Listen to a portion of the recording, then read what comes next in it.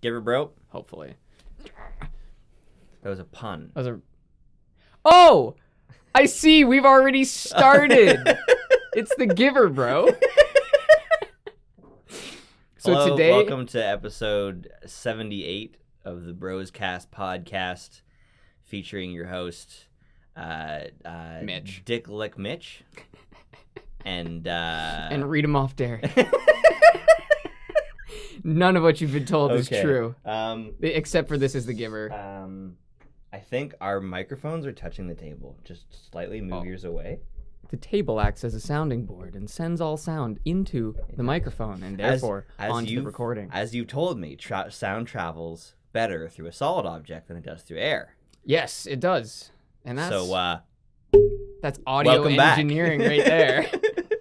So this is the uh, maybe eighth or ninth or tenth. Or, I really said that just to fuck with people. So they're like, 85th? What the fuck? this might actually be the twelfth because that was the goal was to do one a month. I think this I- might be the twelfth. I don't really consider each part Oh to yeah, be a new podcast. that's true for the 1984 ones. Either way, this is the a discussion of the Giver, and this time I've done research. Whoa. Yes, I so- haven't.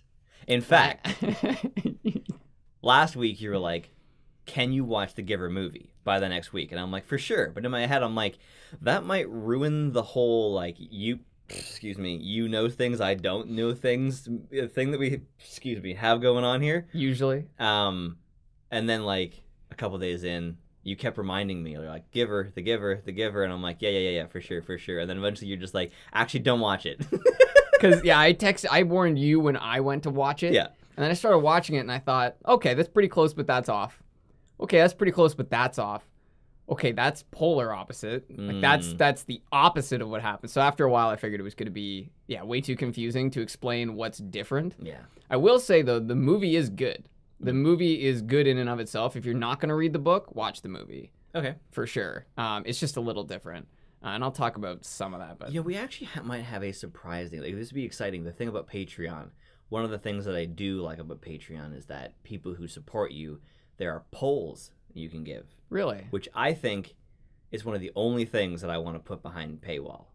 Because I, I don't like putting content. I don't want like extra shit to be behind. Like you have to pay us a dollar to find this thing. Yeah, but you also don't want anyone voting. You That- don't that's the thing. Like, it's, yeah. the, it's that. It's what Joe Rogan was saying about free shows. Like you give somebody, you you say you have to pay a dollar to put this poll in, and Mhm. you're now you're a patron.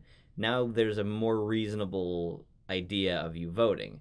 It's also not just like say whatever you want. It's like, you know, are you a reader? Yes or no. It's yeah. Questions like that. Yeah. It's like how trolly can you get on something like that? That's And, a good point. Hey, they might just spend a dollar each time to troll us, and at that same time, you're kind of trolling yourself at that point because now we're you making want to give me money. a dollar to put in a quote unquote false poll Yeah, revol- result? Go for it. And it's not like it's not like an online poll we would be like mandated to follow, Yeah. right? It's just the Yeah, information. exactly.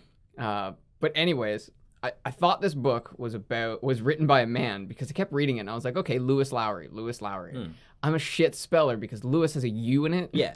L O I S is Lois. Yeah. So Lois Lowry wrote. Oh, I think book. it's a patriarchal idea that we just assume it's a man. It's true. It's true. But I say it all the time. I'm like, man, I want to talk to this guy. but if it had Could said girl. if it said Mary Lowry or it Mm. said uh you know Grace Lowry. Mary could be a guy's name. Have you ever met a male Mary? No, but it sounds good. Mm, In this corner, male Mary. there's yeah okay never mind. There's there's in, in Guardians of the Galaxy 2, Mary is used as a male name. Really? In one point. Interesting. A very specific point. I just don't want to give it away. No spoilers. I avoided the I- spoilers. Wanted to go into that movie not knowing anyone's name, and now I know Mary. So when I see Mary, I'm gonna be like, "Fuck."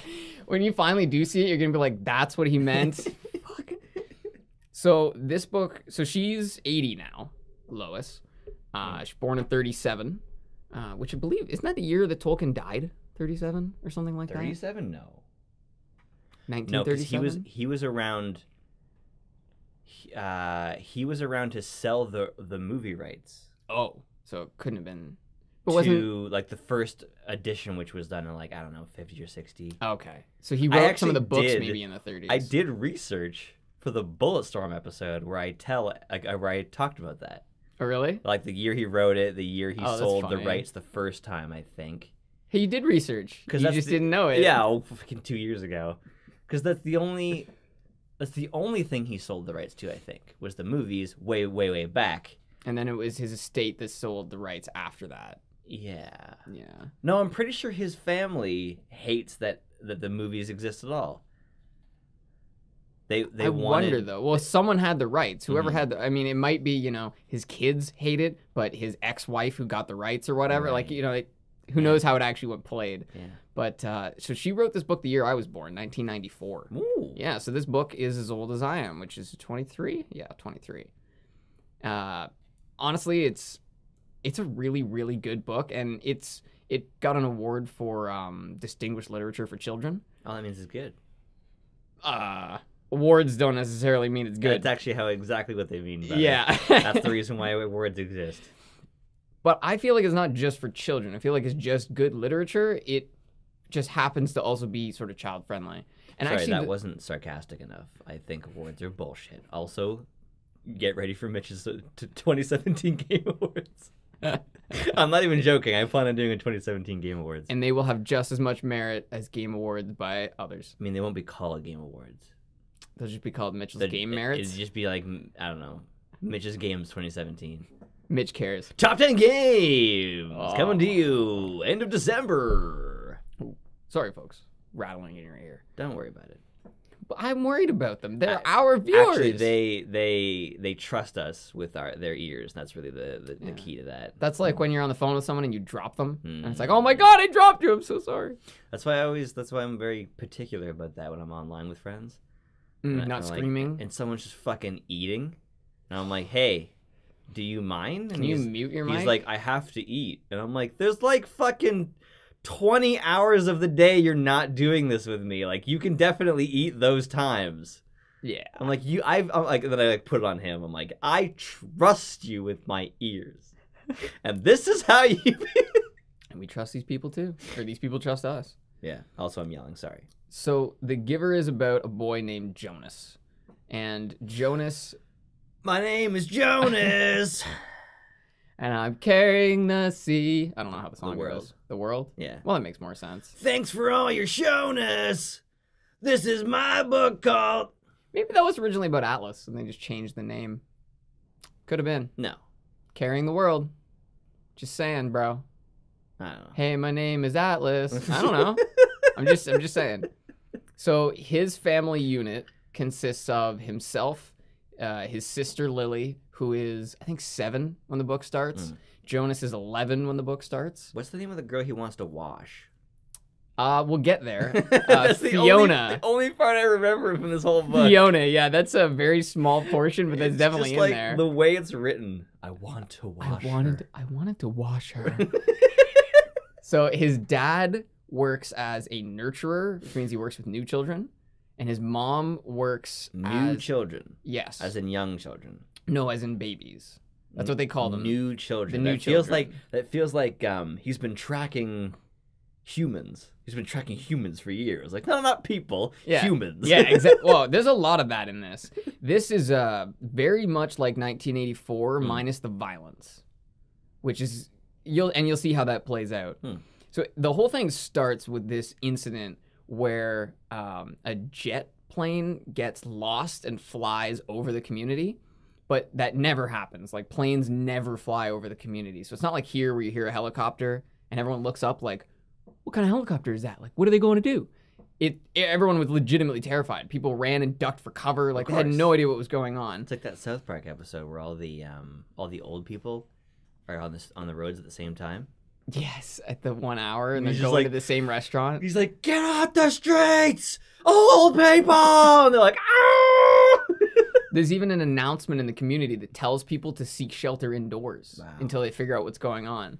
So it turns out it was a pilot in training that got lost. Plus, it's a jet. And it's a jet plane, yeah. Like, so it's probably rattling the buildings. like there was an air show here in the summer, and the town sounded like it was bu- like on, like being bombarded. It was scary Yeah, shit, man. Like crazy they are noise. they are like it's basically like you can hear like you feel like you're right next to it when it comes by like that it, it sounds like someone put an explosion like right right next to you Yeah, and so this happens, and then they figured out what it is, and then there's an announcement saying that it was just a pilot in training, and then it even denotes that there was an amused tone in the speaker's voice when she says, "Needless to say, he will be released."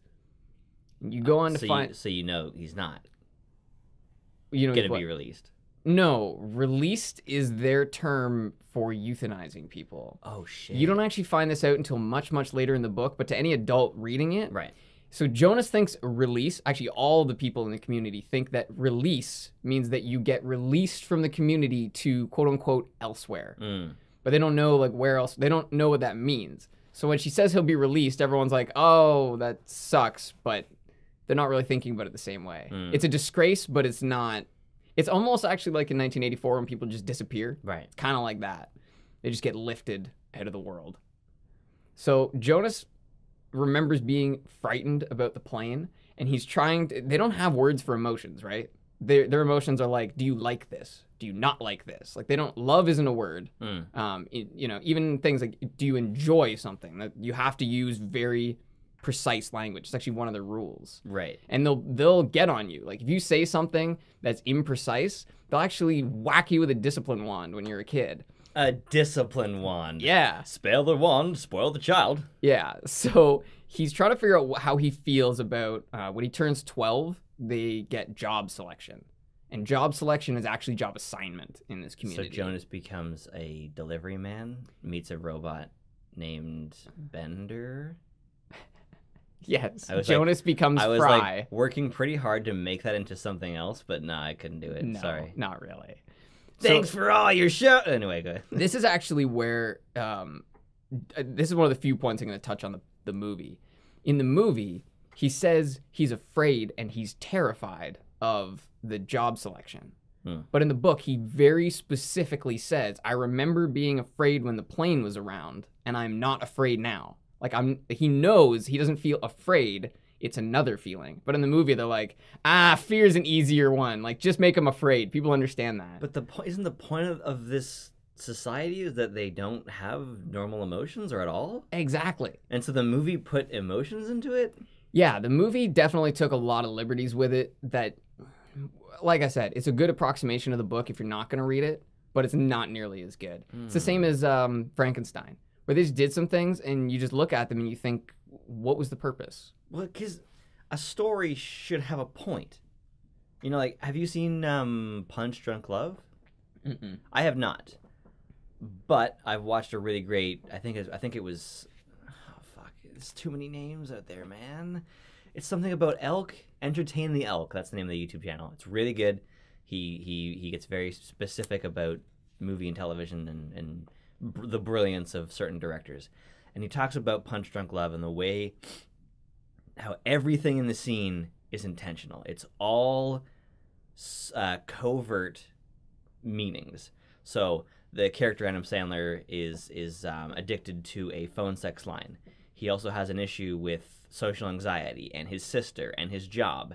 And so there's scenes where his sister is pushing him to go out with this girl. So that's two things right there. His sister and the social anxiety. The phone is ringing at the same time, which represents this phone sex line. Mhm. And in the background behind the picture is people fucking like some shit falling on someone at work. So it's four all the four things that are the worst things in his life happening at the same time. And the scene is so well put together that without realizing it, you feel the same anxiety that the character feels. Because it's too much to take in. and that's one of those examples of a movie that is has such an intention that a lot of people just didn't get it. They're like, this mm. is a boring movie, but it's because this person's not ramming it in your face. Adam Sandler isn't sitting there telling you, I don't like my sister, social anxiety, work, and phone sex line problems.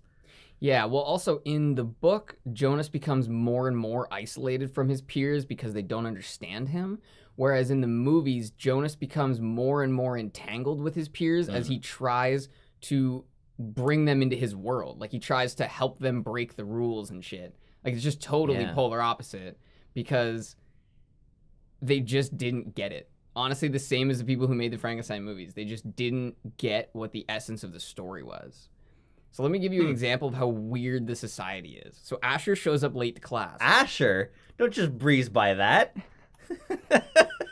so Ash, I assumed if you knew Fiona, you knew Asher. no, I don't remember Okay. that. So he has. So there really is. There's three friends: Fiona, Jonas, and Asher. They're Hmm. like a group of friends, um, and I'm pretty sure they're all the same age. They're all 11s. So Ugh. yeah, so they're 11s, which doesn't actually mean they're 11 years old. So when a baby is born between January and December, I mean, they don't use months, but I'm pretending that. Mhm. Anyways, when a baby is born in that year, at the end of that year, all the babies that are determined to be mature enough to be given to a family are given to a family, whereas the ones that aren't mature enough are either held back or released. So as soon as the child is given to a family, it becomes a one. So not all the kids are one years old when they become a one. And then every Mm. year you advance to a two, three, four, five. So that way there's no different ages. There isn't like I'm slightly older than you, even though we're the same grade. There are no grades, there's years. Whoa. Yeah. So Jonas is an 11, which means he's probably 11 and a half or 12. Wow. Yeah. Um, So kids in Canada would read this when they're nines. yeah, probably. Yeah. So Asher comes into class late and he says, I apologize to my classmates. And then they say, We accept your apology, Asher. And then the teacher says, I accept your apology, Asher.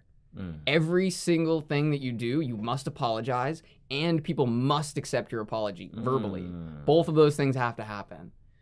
It is it's ubiquitous. Like you get you get punished if you don't do that Whoa. with the discipline wand. we shall discipline them. when, when I was in grade five, there was a kid reading this book, and we had this. They, they were like, the the preschool kids are coming by for a for a, a class, and you guys are going to read to them. And this one kid's like, I might read them The Giver and just scare the shit out of them. That's awesome. Because it is the thing is, it's psychologically terrifying. It's not uh, it's not horror. It's terror. yeah. So kids wouldn't even get it necessarily. Oh no no! What he said was, he's like, I don't think I should read my book to the kids because it oh, oh, might scare the Oh, might shit out of them. Scare them. Yeah, yeah. it And might. she's like, no no no, we'll provide. yeah, we'll give you books. Thomas the Tank Engine. and Shit like yeah, that. yeah. Wait, Jack and that Jill. was a book, right? Thomas. Yeah, yeah, Yeah, that's how it started, isn't it? yeah. Hundred percent. And then it became a TV show. I think. I, With I a think banging theme song. Yes. It's probably one of my And favorite theme songs. Creepy eyes. Yes. The trains have really Have you creepy heard eyes. the theory about Thomas the Tank Engine's world? No. That the tank engines are like they're slaves to humans. They're like a sub. They're, they're like a, a race that's treated like a, a, a second A class. subjugated race. Yeah, and they like because there's like broken down um, trains in the background of those of those shows, right? Yeah. And it's like those are supposed to be like the corpses of to, trains to yeah. remind the ones that are living like what's at stake here. It's like in Game of Thrones where they put the, The dead slaves every kilometer Oh, on the trail to the city to Fuck. warn those. Yeah. It's a dark, Dark show. shit, man. So Asher actually gets uh, reprimanded because he was saying he got distraught by watching the fisherman. He meant distracted. Mm. Because Asher, it's funny, most people use imprecise language, meaning they'll say things like, I was starving today. But no, you were hungry. If you were Mm. starving, you would be on the brink of death. Right. Asher is just either stupid or illiterate. I don't know. I, I'm sure he just has speech issues, Mhm. but it's just, he'll just say words that just are not applicable. It's like this guy I know who, instead of saying liable, as in you are liable for the damages, he says reliable. so he says, hey man, I don't want to be reliable for that. and he says it every time. We, we can't correct him. Have you heard DJ Khaled say jewelry? No? Jewelry? Jewelry? It's something like that. Ugh. Or um, or uh, I, I like to be accurate on this. Sorry, what? Accurate. Accurate? Accurate. Wow, that's a new one. I don't think a U can be pronounced as an I, but hey man, oh my god. anything's possible. Uh, so Jonas goes home after class, and they do the evening feeling share at the family table. Sorry, give me a second. sorry, just uh, just uh, sorry. Just give me just uh, what? So Jonas re- doesn't usually share in the first place, so Mhm. it's not unusual for him to not want to share. He's carrying the world, right? So that makes Yeah, sense. exactly. Mm. And his name is Jonas. Mm. So Is it? His name is Jonas. Is it Jonas Blane? Oh my God, this would be a much better book if it was Jonas, Blane. Blane. He's uh, Dennis Haysbert. It um it plays Jonas Blane on the unit. Oh, oh. Snake Doc. Oh, jeez. He would just kill everybody. They don't have any weapons or Yeah. anything. He would, Dude, there's a fucking episode where he intentionally gets captured, frees himself with no weapon and kills like fucking 12 dudes with their guns. You imagine how much better this book would be? That's the principle behind Jonas in the there? mercenaries games. Yeah. You know, why provide machinery and munitions when the enemy will bring it to you? Exactly. And you could just use it on Yeah. them. So, uh, his little sister Lily shares this story about how she was angry with another group of sevens that came to visit them. Mm. And the other group of sevens, I guess, comes from a different community. And one of the kids was like butting in line. And butting in line is like really bad in this community. No butts. Even though it seems like no, No butts, no cuts, no. What's the last one? No interrupts? Is that? I don't know. I think it's no butts, no cuts, no interrupts. But every time I do it in my head, I go no butts, no cuts, no budget cuts, and I'm like, no, no, that's totally not it. I think it's interrupts. and so the whole family is is kind of saying like, you know, why, you know, why do you think they did that? Maybe they don't understand, and they like taught Lily a thing about like understanding, Mm. and uh, and then Jonas calls the other kids animals. And this is the weird part. They, as a society, don't know that animals exist. They use the term animals to mean like those who are uneducated or clumsy. Oh. Like, you know how we would be like, you fucking animal. Well, I, sometimes I use it as a term of endearment where it's like Conor McGregor is a fucking oh, animal. Oh, yeah, yeah, right? yeah. But yeah, they use it as a derogatory term and they don't even realize they're real. I, I always find that it's kind of a weird statement because we actually are animals. Yes. Like we're actually, part of the animal kingdom It's true. has mammals, and that's us right there. We're like Well, it's basically we're literally animals. it's it's saying by not separating yourself from the way other animals behave, Mm. you are a lesser. Is like kind of the implication. Well, in, in the early 2000s, I I don't know what movie or what show it was on TV, but there was a woman who said that it's the the human brain tricks us into believing that we're not like the other animals. Yeah, that's our greatest ability. Yeah. Trick ourselves. so the funny thing I've thought about this book was they they taught Lily tolerance in three quarters of a page. There's this like little conversation, and after it, she's like tolerant all of a sudden, and I was like, oh wow, that was took you seven years to have this one three quarter page conversation. Still better than the fucking jump from Anakin. Oh And fucking 11 minutes or something like that. yeah, like eleven 15 minutes, I'm gonna kill all the children. Yeah. Just like he went from like I want to do the best to I want to kill the children so that I can save my wife. don't know how that works. Yeah. So Lily is kind of the polar opposite of Jonas in this story.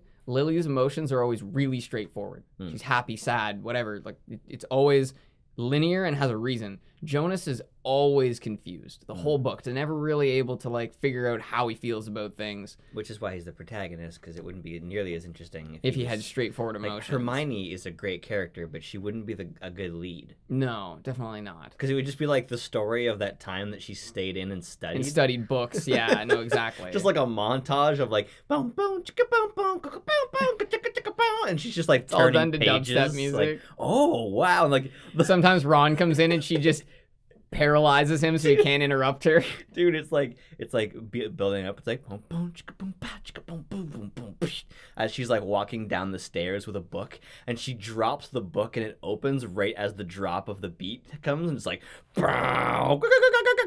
as she's like turning pages. pages, it's like it's those weird like CSI shots where it's like slowly coming in on them and then it quickly pans around to like then a slow motion shot of her moving anyway go So that would make a, a quarter of a movie, maybe. maybe like a tenth of a movie. It could be a good off movie. A know? one off, yeah, like um, a little tiny snippet, a Yeah. little vignette. So the father starts talking about this newborn. Remember how I said if newborns struggle, they get either released or held back? Mm. So there's a newborn that's struggling, and he wants to bring the newborn home because the Mm. night crew is like having huge issues and a kid won't sleep and shit. Mm. So that's like the first mention of the the newborn child that won't just won't sleep. I can imagine a lot of parents. I'm gonna forget this. Are you aware of a book? Um, I think it's called The Second Child, or The Third Child. Probably The Second Child. It's a book yes, a world where where you can only have two children. I think it's only one. Oh, really? Might be two. I thought it was just two children you could have, and then the third one was like the outlaw child. Yeah. That Have you heard of that? is actually super common, believe it or not. Oh, I know it, it happens in other countries. Is it, this, this one is like in set in a dystopian future? No, sorry, I meant that's really common in books. Oh, Ender's Game, that's the rule. Really? You can only have two children. and You're only permitted to have a third child if it's necessary for like a government program. That's where Ender is born as the third child Mm. because his parents were some sort of like special people, and so they were chosen to breed military children. Yeah. Hmm. So it's actually yeah a really common trope that and, and in this one, family units only get a boy and a girl. Every family unit gets one boy, one girl. Mm, but you're aware of that book, right? Honestly, I don't know. that would it. be a good one to bring. okay. It's really good. The third child or Yeah. the second child? It's like surprising where the story goes. Okay. Because you read it a long time ago. In grade four, I was an eight. Okay, and that's actually no, you were a nine in grade, Grade four. You would have been a nine. Oh, so then you would have been a was ten. nine, No, a ten. a ten. Yeah. Five years before JK, so so it's the grade plus five. Well, you're you're five years old when you're in senior kindergarten, and Mm. you're six in grade one. Mm. So it's whatever grade you are plus five. Yeah. Yeah. Okay. So there's there's a lot of rules that actually kind of like all get spit out all at once. So first of all, the rule is three offenses and then you get released. So they have a three strikes policy Oh boy. in which the third strike you're done. Um, so they don't do well with recidivist offenders. Recidivist offenders. Yeah. So people Wow. that keep coming back. If I named if I named uh podcast that would, this would be this called would be the one. the recidivist defenders. Holy fuck. Uh, That's amazing. Marvel, you can have that. no, recidivist offenders. No. No, the defenders now. this is the thing. So the ceremony of 12 is coming up for Jonas, but the ceremony of advancement is where every single kid gets advanced. It's Mm. also where new couples are given their children. Oh. So every year, 50 children, if none of them are released, 50 children are given out to families. Hmm. Um, so Jonas's dad is not supposed to, but he actually looks up the name of the child that he's going to be bringing home, the troubled child, because they're supposed to only be referred to by their numbers until the day they're given to their family, and on that day they're given their name. Okay. But he already knows this kid's name. The kid's name is Gabriel, Gabe, they call him. Mm. Um, but the kid, the kid calls himself gay because he can't I was just gonna say we call him Gay Boy for sure. Yeah, exactly. He can't pronounce the whole thing, so he's like, "Gay, gay." That's his name. um, so you get there's a bunch of landmarks, but at nine you get your bicycle. So everyone has a bicycle. There are Shit, no dude. This world's like Pokemon. kind of actually. There's no other modes of transportation, just bicycle. Oh, dude, they, it's your flyer. My fly. It's your first mount. yes, exactly, exactly. Yeah. So you actually you get a bicycle with training wheels at nine, and then I guess eventually those come off. Um, and then when you have a kid, you get a seat for the back of your bike that the kid goes on. And everyone has their own nameplates on their bikes and everything. And their nameplate even says what their job does. Mm. Like it's a really well organized society. It's very clean. It's very neat. Uh, but it's it's it's not good. Have you heard that in in Japan they keep things extremely clean? We're talking like underneath things. Yeah, isn't it because they have so many people that a lot of the jobs that they have wouldn't necessarily be viable here? Like you there you can pay a guy to Um. sweep a street, whereas here there just aren't enough people. They're too expensive. It could be that, but it's a it's a theory that they've been that they they believe in that people are significantly less likely to dirty a very clean space. But no one has a problem throwing a bottle into a landfill. That's a good point. A dirty space you're more likely to make dirty. Yeah. That's a good point. Like And, if I'm looking for a place to litter, I'm gonna look for other garbage Yeah, to put it with. like clean, like a, a a clean, well kept, um, uh, grass like a lawn makes you like it, it kind of makes you not want to step on it. But if it's already fucked up and there's like blotchy patches and like dead grass, it's You like don't whatever. care. I don't give a shit about that. Yeah. I also imagine that the fact that they don't get like really aggressive winters Mm. because it's such a dense metropolitan area that you know they don't have. Uh, Does it actually keep like it? I was gonna ask. Do Yeah. do do cities actually make spaces warmer? uh, in the summer, yes, because all of the concrete reflects Oh, the yeah. heat straight back into the air, whereas plants would have absorbed a bunch of the heat as energy, right? Um, but also in the winter, they prevent a lot of um, air movement. Yeah. So if you know here in in our city, it's it's we have some high rise buildings, but it's only a couple of four or five story buildings. Mhm. So the wind just comes along, brings its snow, and just shits on us. Whereas in Toronto, when you have 10, 40 story buildings all clustered Mhm. in an area, that like the city streets get slushy, but they don't really get snow the same way we do. It's very different. Dude, super tall buildings have like their own weather systems around them. Yeah. Like the the the wind picks up and when it hits it at the base, it goes straight up and creates an upward draft and people have actually seen upward rain. Whoa. And apparently it's like a theory as to why not like like not as many things fall on people that you'd expect because it actually goes like up. Oh, because the yeah the draft actually throws it up. Although walking around in downtown Toronto, there's a lot of signs that say "warning falling ice," Mm. and you look up and you see 50 stories to the roof, and Yeah. you start to think if ice fell that far, Yeah. there's nothing you can do. No. You're done for. And yet I don't think I've ever heard of that happening. Guaranteed it's happened. I know it law ha- large numbers. Maybe it just happens so often it's not news anymore. I wouldn't doubt it. Hmm. Or maybe it happens less now. Maybe back in the day, a thousand people a year died, and now it's like seven. But it's still a lot of people if you're one of those seven Yeah. or their family. Uh, so the people who make up the power structure in the community are committee members who are part of like various committees, elders who are exactly what they sound like, and then one of the elders is known as the receiver. Mm. Uh, so the receiver, you don't really learn much about yet, but the receiver is uh, a position of great honor. So it's more of a ceremonial position in a way.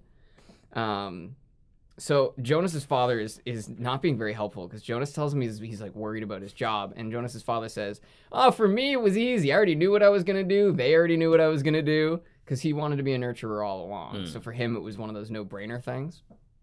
Um, and then his mom's the same way. She's like, "Yeah, no, they pretty much they they knew what I was gonna be." So Jonas has no support. No one who's like, "Yeah, I remember it being scary." No one says anything like that. Like they're so not helpful. You know, they have all these emotion shares, but there's no actual emotion involved in the emotion shares, which just it's the same as 1984 where everything looks fine, but in your bones you can just feel that it's Right. wrong. Yeah. You just know it's wrong. Yeah. And the mom is actually played really well in the story, or sorry, in the movie. Uh, she's played by Katie Holmes. Really? Um, and this is not intended Huh. to be a slam at Katie Holmes, but she does a really good job playing that super cold, disconnected person. oh yeah. And that's what the mom's like. She does a lot of like agreement and a lot of nodding and that a lot consistency. You think that the actor is not doing anything, but it, that you see them in something else. of. hmm Like uh, Jared Keeso is from Letterkenny, Okay, yeah. and he does the character Wayne fucking beautifully. It is so consistent. That character has like almost no emotion. Everything he says is like straight to the point. He's real no nonsense character. That's why it's funny. But then you go and see him in in um, 192 is a police show he's in, where he's a regular dude, and so he's got emotions that you know fly off sometimes, and you're like, oh, He's an actor. he's like really refined Wayne. That's why Wayne is so consistent. But it feels like he doesn't isn't doing anything. Like he's just like ah whatever.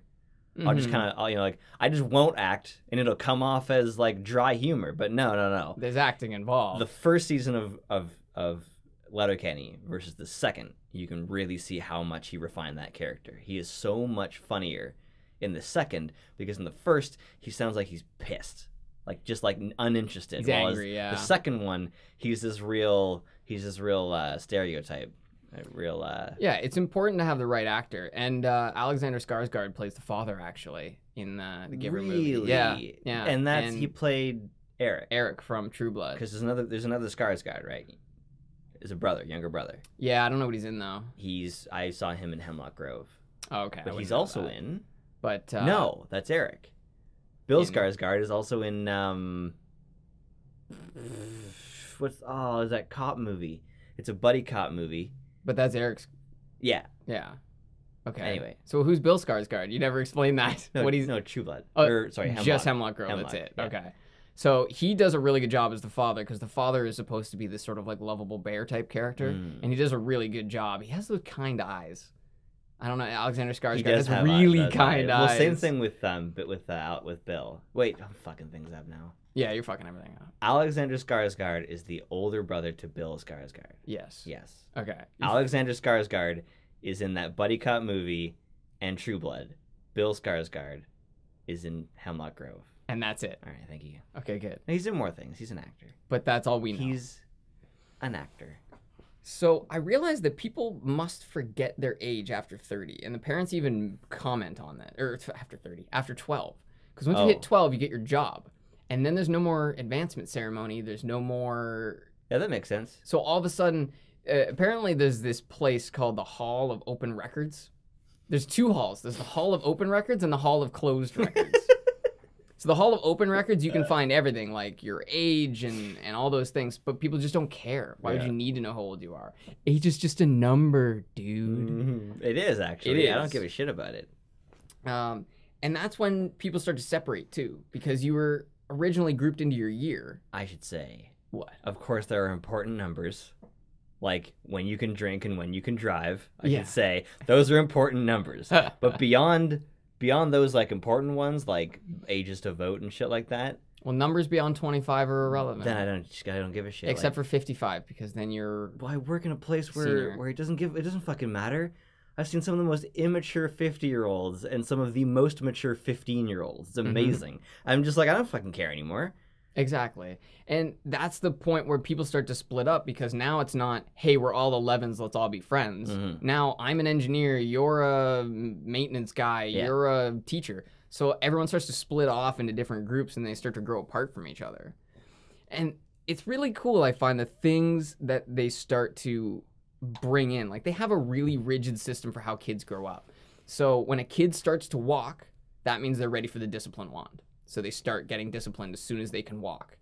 And then they're given a comfort object, which, so Lily's comfort object is a stuffed elephant, but they think it's a hippo. They call it a hippo because they're just so unfamiliar with. Right. With know what that animals. You know what? I might actually be messing that up. They did that in the movie. I don't remember if that happened in the book. Mm. But also, they never show them to you in the book. Like you don't physically get to see them, so it's hard Right. to know if they're doing it right. But they their comfort objects are taken away when they're eight years old, and that's like part of the process of them Hmm. growing up. But another thing they do that I think is really cool. I forget how old it is. I think it's when they're six. They get, um, yeah, when they're four, they get a jacket that only buttons up in the back, which means that they need other kids to help them get their jacket on and off. Huh. So it teaches them to learn and like develop with other kids. And then when they're six, they get a front facing jacket so they can do their own up and they learn independence. And then I think when they're seven, they get pockets. At a certain point, they start to get pockets so they can hold their own stuff too. The only way you could ever teach kids that way is to take full control. which is what they did. Because you imagine that nowadays, like schools are now only allowing kids to have, uh, um, Rear facing jackets. yeah. It's Well- like it's like, man, you can't fucking tell me what you fucking do your job and teach the fucking kids about the. the, the. But it's also dangerous in a way because let's say your jacket gets snagged on something and you Mm. need to take your jacket off, but you can't physically reach it. Um, this is a society with nerfed corners. They Right. live in a perfect place where there is no crime, there is no there's no weather, Hmm. there's no change in temperature, there's nothing. Their community is essentially indoors, but it's not. That's how controlled their environment is. Hmm, They don't go do they into the allude as to where this is? Because there are some places in the world that have really consistent weather, right? but it's engineered because the giver goes on oh, fuck you don't know who the giver is yet. But anyway someone explains later on wink wink that at some point this whole community y- years and not not even years generations ago decided that they were done with hills because hills made it hard to transport goods. They were done with weather because cold weather made it hard to grow crops. They were done with different colored skin and different colored eyes and different colored hair because it made people separate into groups. So they went to what they call sameness. And with sameness, sameness heard that term. weather went away. They leveled everything. So there's no there's no there's a stream but other than a stream there is no uncontrolled elements in their environment Oh, every sure that's single thing too. exactly the river is probably like a steel bottom it's probably not even an actual Well, they probably river. know exactly how fast it's moving. Like they probably intend that. i honestly bet they put water in it like i don't think it's a natural river Mm. i bet everything has just been turned into this homogeneous mass Or it could just be like liquidized people that were released. It could be. Who knows? Everything flows through the river. Oh, including all of the shit. Oh, hey, a toenail. Gross. Just gross. Just in case people weren't weren't paying attention. So one thing that is one thing that's actually really bad about the movie is Mm. that in the movie, I guess because it was too hard to find actors with the right colored eyes, their indicator of like um the special characters was that they had a birthmark. But in this story, You can Hmm? you can do um, CGI eye colored. What you can do that. You could also do um, uh, what's it called? Like like lenses. Like But the one guy had brown eyes and they would have needed to be blue. So you that's hard, totally isn't do it? that, man. It's not that like, like with with CGI. I'm sure. Yeah. telling you this as someone who's just been doing some uh, like some like serious fucking editing. Um, it just takes time. Yeah. like it's not. It's a matter of desire to do it. Yeah. But the- also the thing is like they would have had to do it for the entire movie, right? Because the main. But anyways, so the there's only five people in this whole story with pale eyes. oh, So there's Jonas. There's a, a female five that they don't really ever talk about that she, she exists. Um, and then Gabe, who's the baby, also has um, those eyes. So only three that I listed. I wasn't paying attention. Okay, but either way, there's a certain amount of them, and, and Gabe and Jonas are, are two of them. there's only so much you can expect from me here. So it's hard to picture a lot of this because right now their world is in black and white.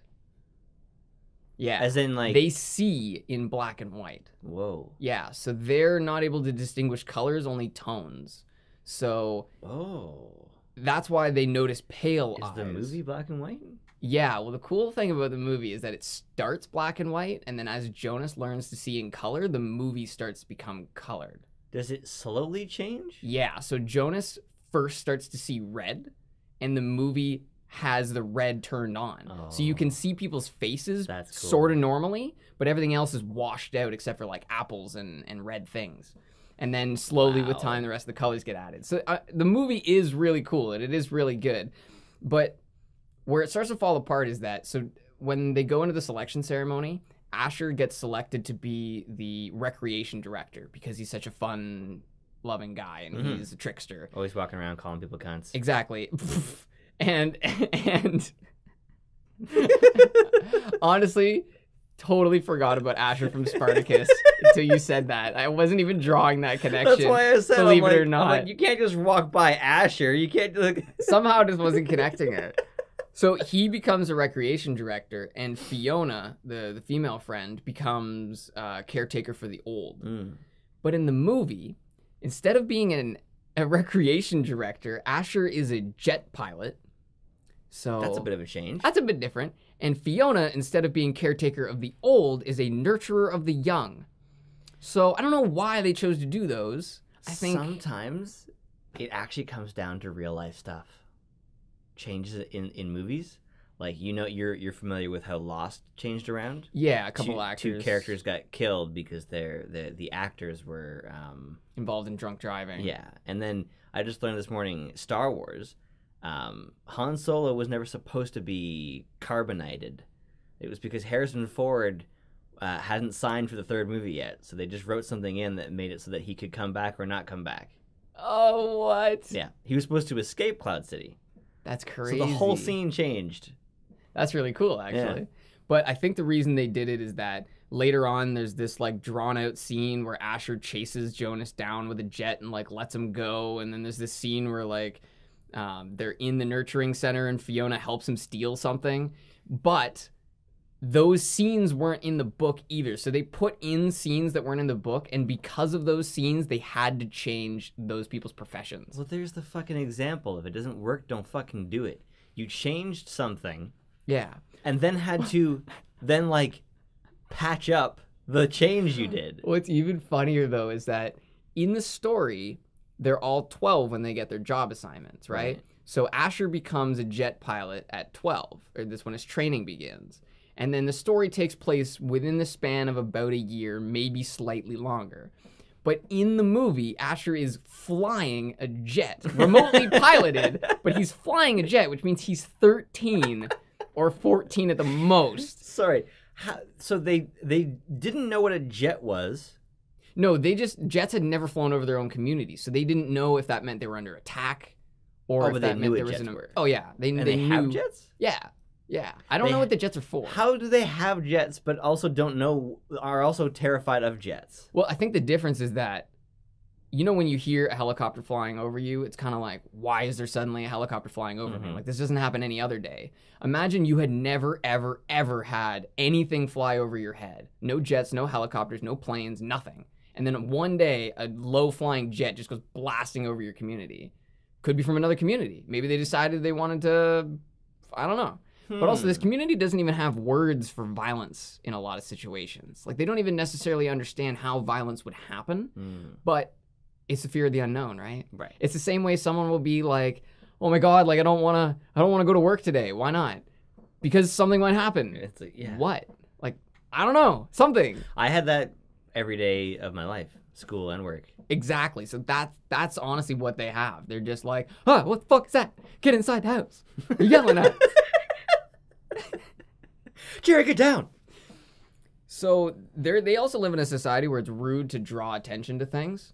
And S- anything. So the oh, fact that Jonas has pale eyes, no one would ever mention that because it's a difference. You're never Oh. ever supposed to point out people's differences, and you have to apologize to them if you do. oh no. Yeah, so it's a very rigid society. I thought you were gonna say it was against the rules to draw people. Well, they don't have mirrors, so they don't see themselves. But I, I don't honestly don't think they would draw each other like they would have. They all look the same, right? I For the most wanted part. to draw her. I wanted to draw you. So Lily talks about wanting to be a birth mother, and this is where you get a perspective for how the society works. So the way the birth mother system is set up, if you are selected as a birth mother, you get three years where you are pampered and taken care of while you lay three while you give birth to three children. I was gonna say lay three that's, kids. That's a that's an example of how you're viewing their society. Yeah, like, seriously. Because it's all artificial. It's not Mhm. like it's not like they bring in birth fathers, Like right? she just takes a squat and just Exactly. So one kid, two kid, three kids. She just like like slowly crab walks across the floor. But the thing is, they want that three years to last as long as possible Mm. because at the end of those three years, they become a laborer. So What? that's the deal. You get three years to give three children, and you get taken care of, and then you become a laborer for the rest of your life. Why would you take that? It's not. It's it's selected for you. You're given your job. Oh. Yeah. But the alternative is they just make you a laborer, right? Right. That's the alternative. If you know, for, if you were a male instead of a female, they would be like, okay, laborer. But because you're a laborer who could be a birth mother, that's what you get. Mm. So, and Lily said she wanted to be one, and her mom was basically like, bitch, you don't know what you're talking about. You're eight, so shut up. Pretty much. So, It'd be a much better book if they re- re- if everything was like that. yeah, I should totally, I should rewrite it. I want to watch her. Bitch, you don't know what you're talking about. So here's a couple of examples of so they're they have speakers the similar way to the telescreens in 1984 Mm. where they can see what's happening and they can make announcements to the whole community at once. So here's an example of uh, of something a speaker would say. Attention, this is a reminder to females under 9 that hair hair ribbons are to be worn neatly tied at all times. So young girls under 9 have to wear hair ribbons no matter what, and they have to be well tied. It's kind of like a dress code.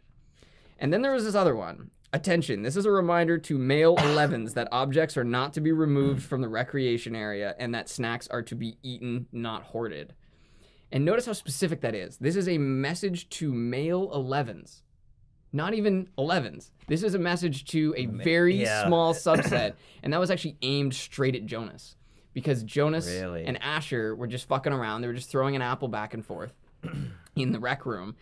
And then Jonas started to see something like it changed midair, and you later on go to find out that this is him seeing red for the first time. Oh. He starts to see glimpses of red as the apple's being thrown through the air, and he doesn't understand why, so he keeps the apple thinking it's the apple that has Oh. changed.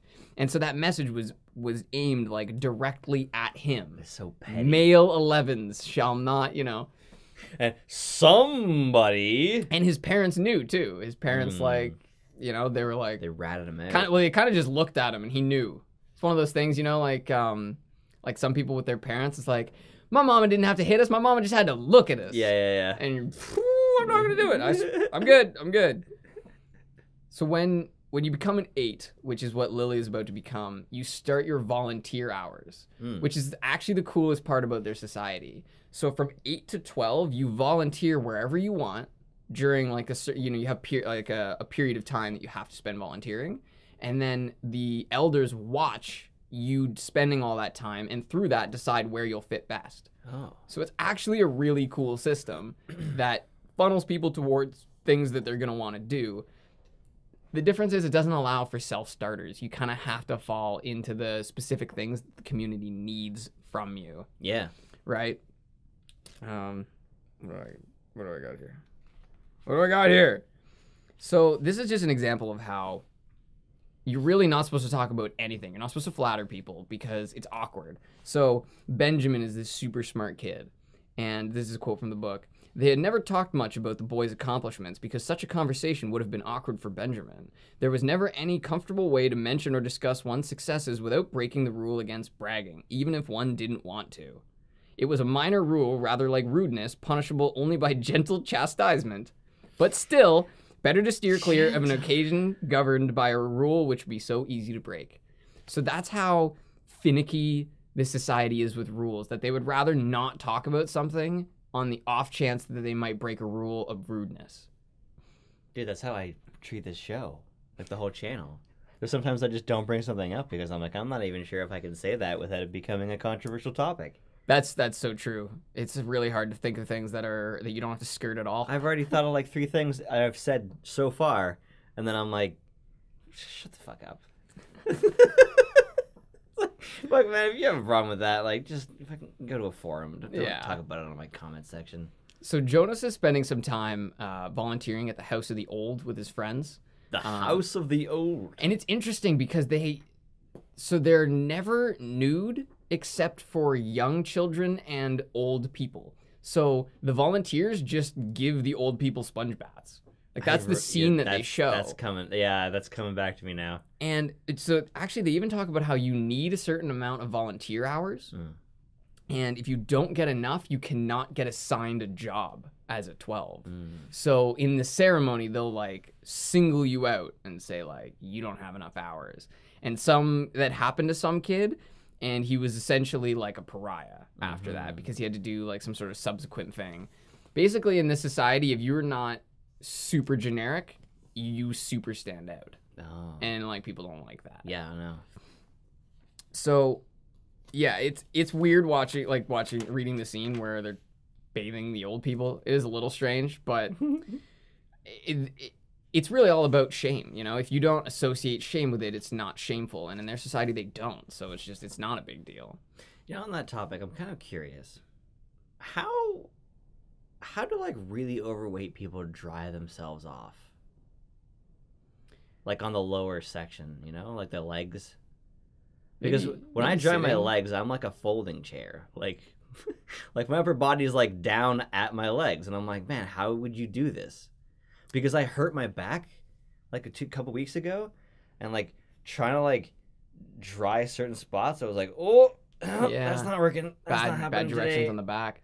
Uh, potentially bring the leg up, you know, like up on the edge of the tub. Oh boy. Because that's what I used to do, like when I was young. I used to throw the. Actually, I still do. Because it's easier. Or like the leg up like on the tub. A towel on the stick or something. I wash myself with a rag on a stick. Some Oh. Simpsons comedy gold. Jesus.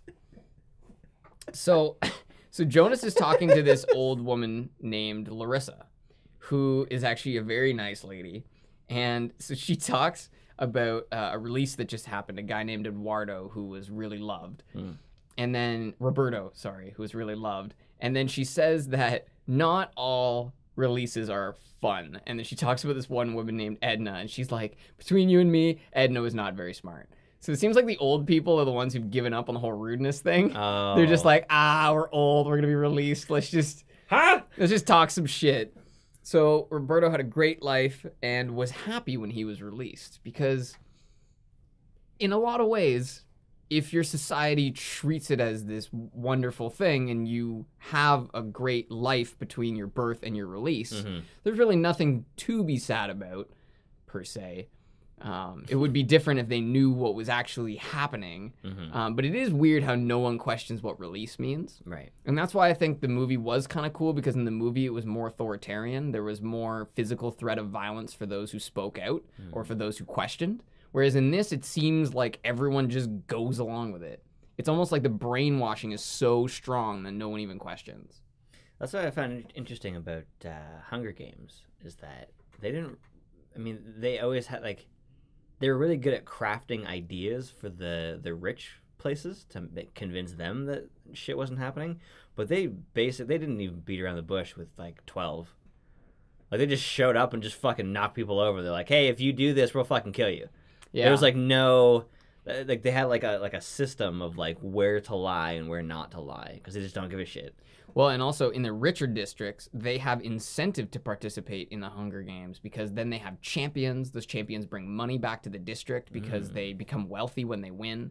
Whereas the lower districts are controlled by the higher districts. So all you have to do is keep the rich ones happy. The same Mhm. way kings didn't appeal to peasants, they appealed to nobles.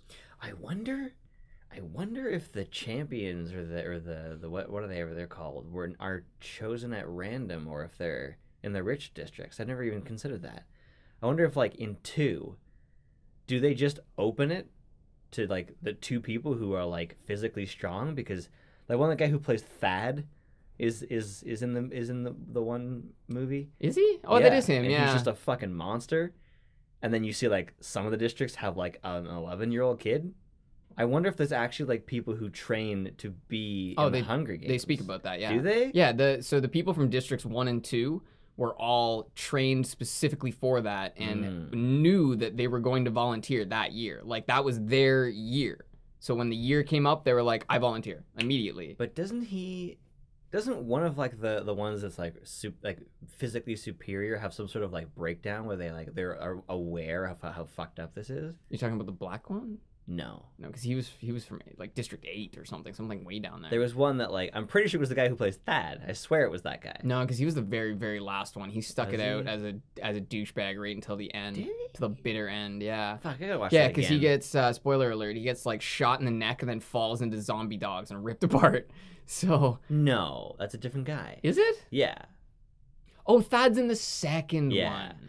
Are you sure that's dude, Thad though? in the book, that dude that falls into the into the dogs in Yeah. the book, he's wearing armor that's so thick that they can't kill him. So they just rip him apart for hours, and the two have to Oh. just sit there listening to it. oh, So you can see why that didn't end up in the movie. Oh my god! Actually, you know what? This book has a lot of that too, where there's things that are they're done much more viciously in the Mm. book, and just in the movie that like, people wouldn't have had the stomach for it. I guess. I get it. I get that not everyone can create content like us, where they're doing it on the side as a part-time thing and have a real job. Like if you're given uh, like six million dollars to make a movie, you have to make sure that people watch it, or you might not make another movie. But at the same time, maybe if it was like really good and really consistent with the book, it actually might pull in like a great niche market. I get that the niche market isn't what they're after, but Yeah, they're after me. the money, and and that yeah, that is honestly the problem. Uh, but here's your favorite part. Uh, so here it is. um, so Jonas has a dream about Fiona, Hmm. and in it he's he's standing with Fiona and they're standing next to the bathtub and he's trying to convince her to get undressed and get in the bathtub so that he can wash her. Hmm. That's his dream. Get in there! Get, take it off! Take your clothes off, get in the tub. so so he wakes from the dream and apparently they do dream sharing in the morning. So it's feeling share at night, dream share in the morning. And I just feel like if any modern person was put in this society, they would be released within a week. Oh, less Maybe than within that. a day. First yeah. day. Because they would be oh, they, it would just it would drive you up a, a wall. These people are bonkers. Anyway, so so they call I was gonna say bananas, but I don't know. Bonkers I sound know more they fun. wouldn't know what that is. They might not actually. they know what an apple is, so I hope. But Maybe that's no, no, wait, no. That that one would give would give feelings because it's similar to a penis. And honestly, I think bananas are harder to grow. Like apples Are are, pretty easy to. Well, we grow apples here. We do not grow bananas here, as far as I No, know. that's true. Um, but anyways, uh, they're talking about the dream, and so they kind of just they kind of just like get Lily out of the room. The dad's like, "All right, Lily, let's go," and just like drags her off. Mhm. And then the mom says, "Okay, so this is what we call the wanting," and th- or no, sorry, that's what Jonas keeps saying. He's like the thing he keeps remembering from the dream is how much he wanted something, the Oh. wanting. And then so she says that this is what they call the stirrings. And then and what they do is they take a pill. As soon as the stirrings start, they take a pill and it makes the stirrings go away. And they Mm. take that pill every day for the rest of their life until they enter the house of the old. And that's probably why the old people Yeah. are all cheeky as fuck. because it's like it's kind of like you know it's like a common meme in our society that you have a, a certain amount of time money and energy and you're always short on one depending on what point you're at when you're a kid you have time and energy but no money when you're an adult you have money and energy but no time and then when you become an old person you have money and time but, But, no, energy.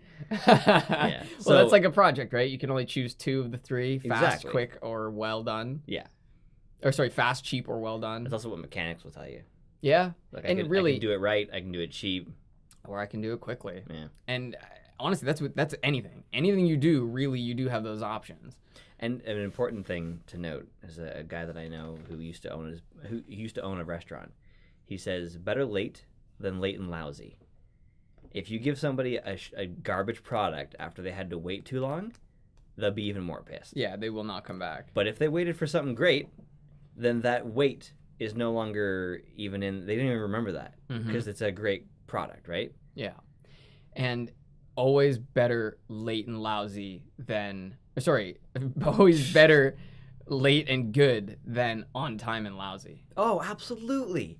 In fact, the same guy was telling me about a study done that was polling people on on like what makes them satisfied as a customer, and it's always they want they, they don't give a shit about you know like he gave me something free or he gave me my money back or all this shit.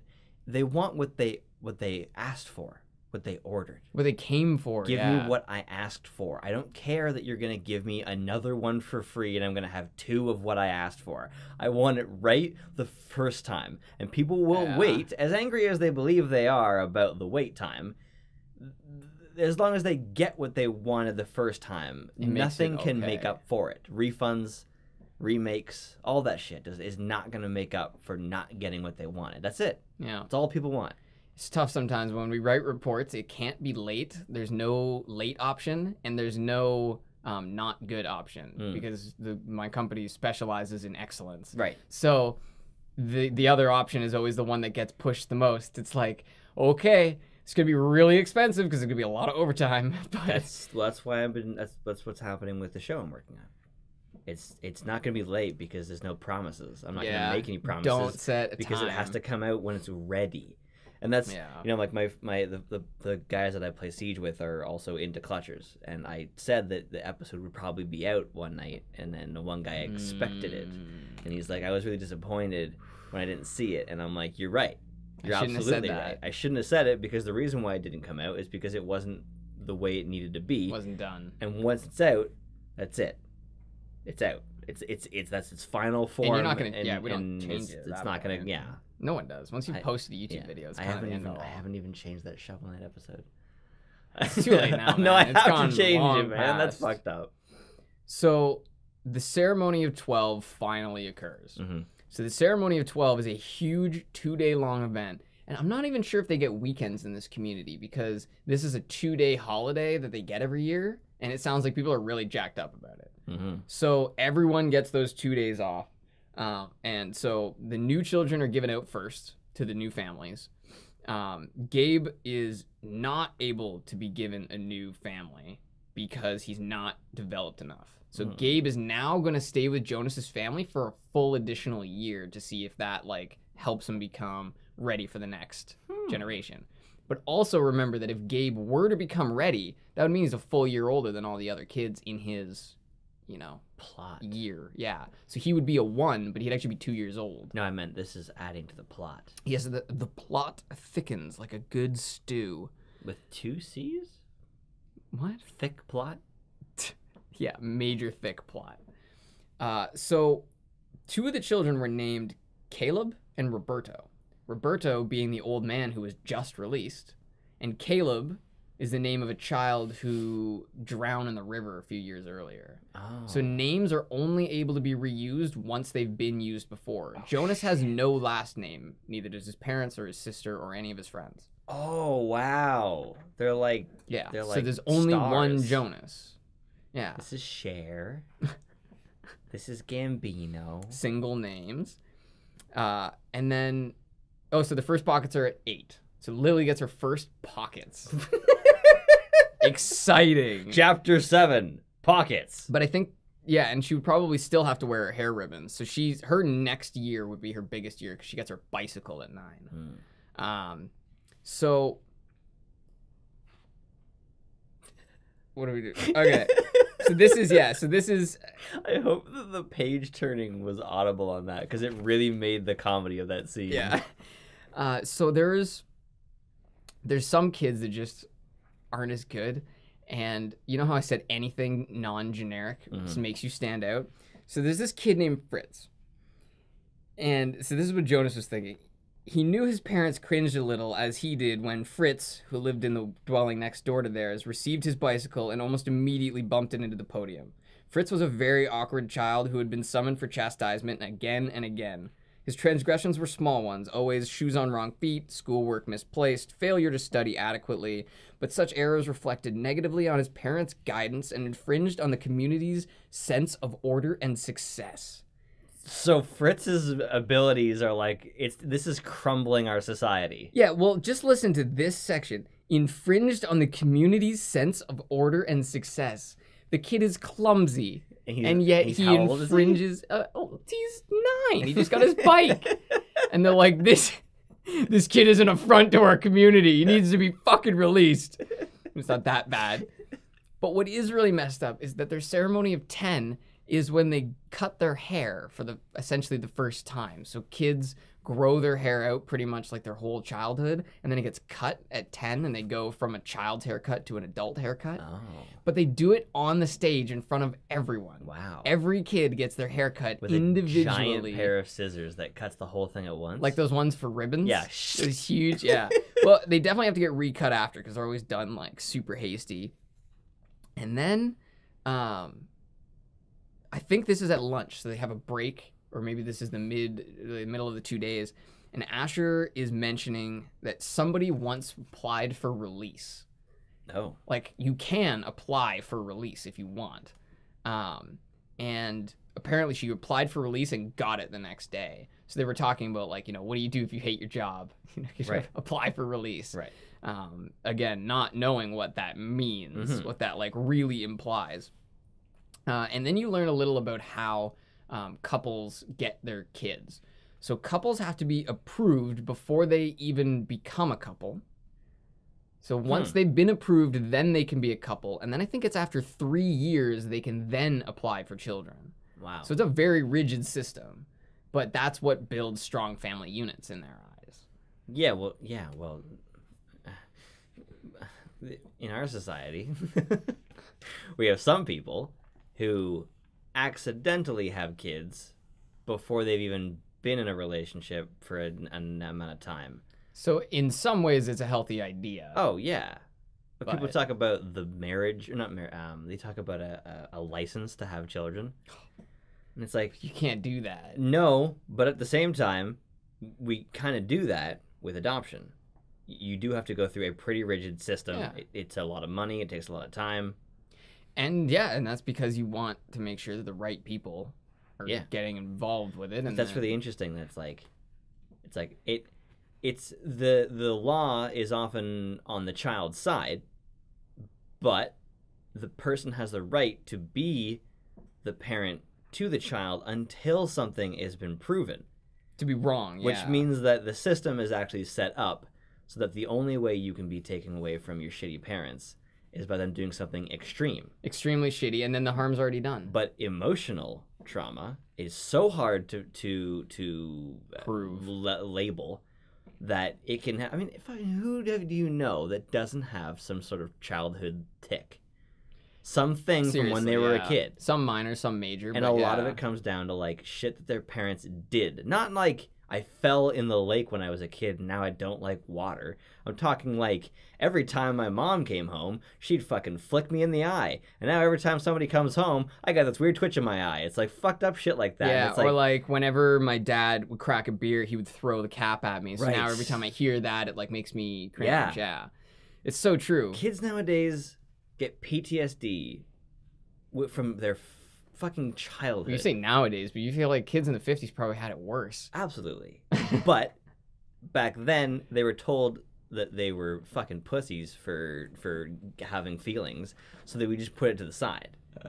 Now it's like now it's actually being talked about. Now it's actually like, oh, you have childhood trauma.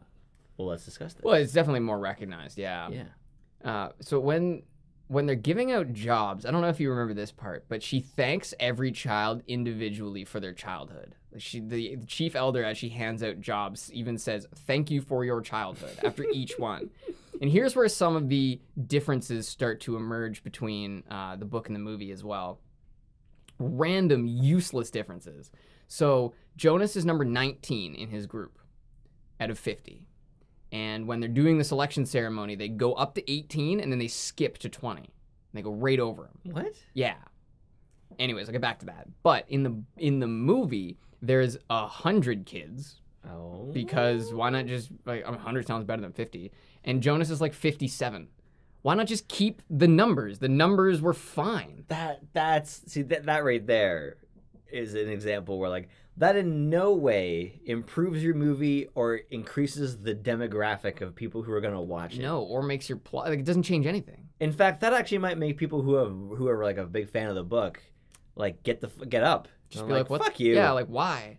So, anyways, she skips through Jonas and goes to the next one, and then keeps going all the way to fifty, and then she comes back to Jonas and she says, "You feel like I've made a mistake. You feel like I've missed somebody, but I haven't. Jonas has been selected for a very specific task. Jonas will be the new receiver." oh. So the receiver is that elder I mentioned before who they don't really describe his job yet, but his job is to store all of the memories that the rest of the community has forgotten. Oh boy. Yeah, and it's a huge weight, but that's why they need to select a very specific person to be trained as a new receiver. Yeah.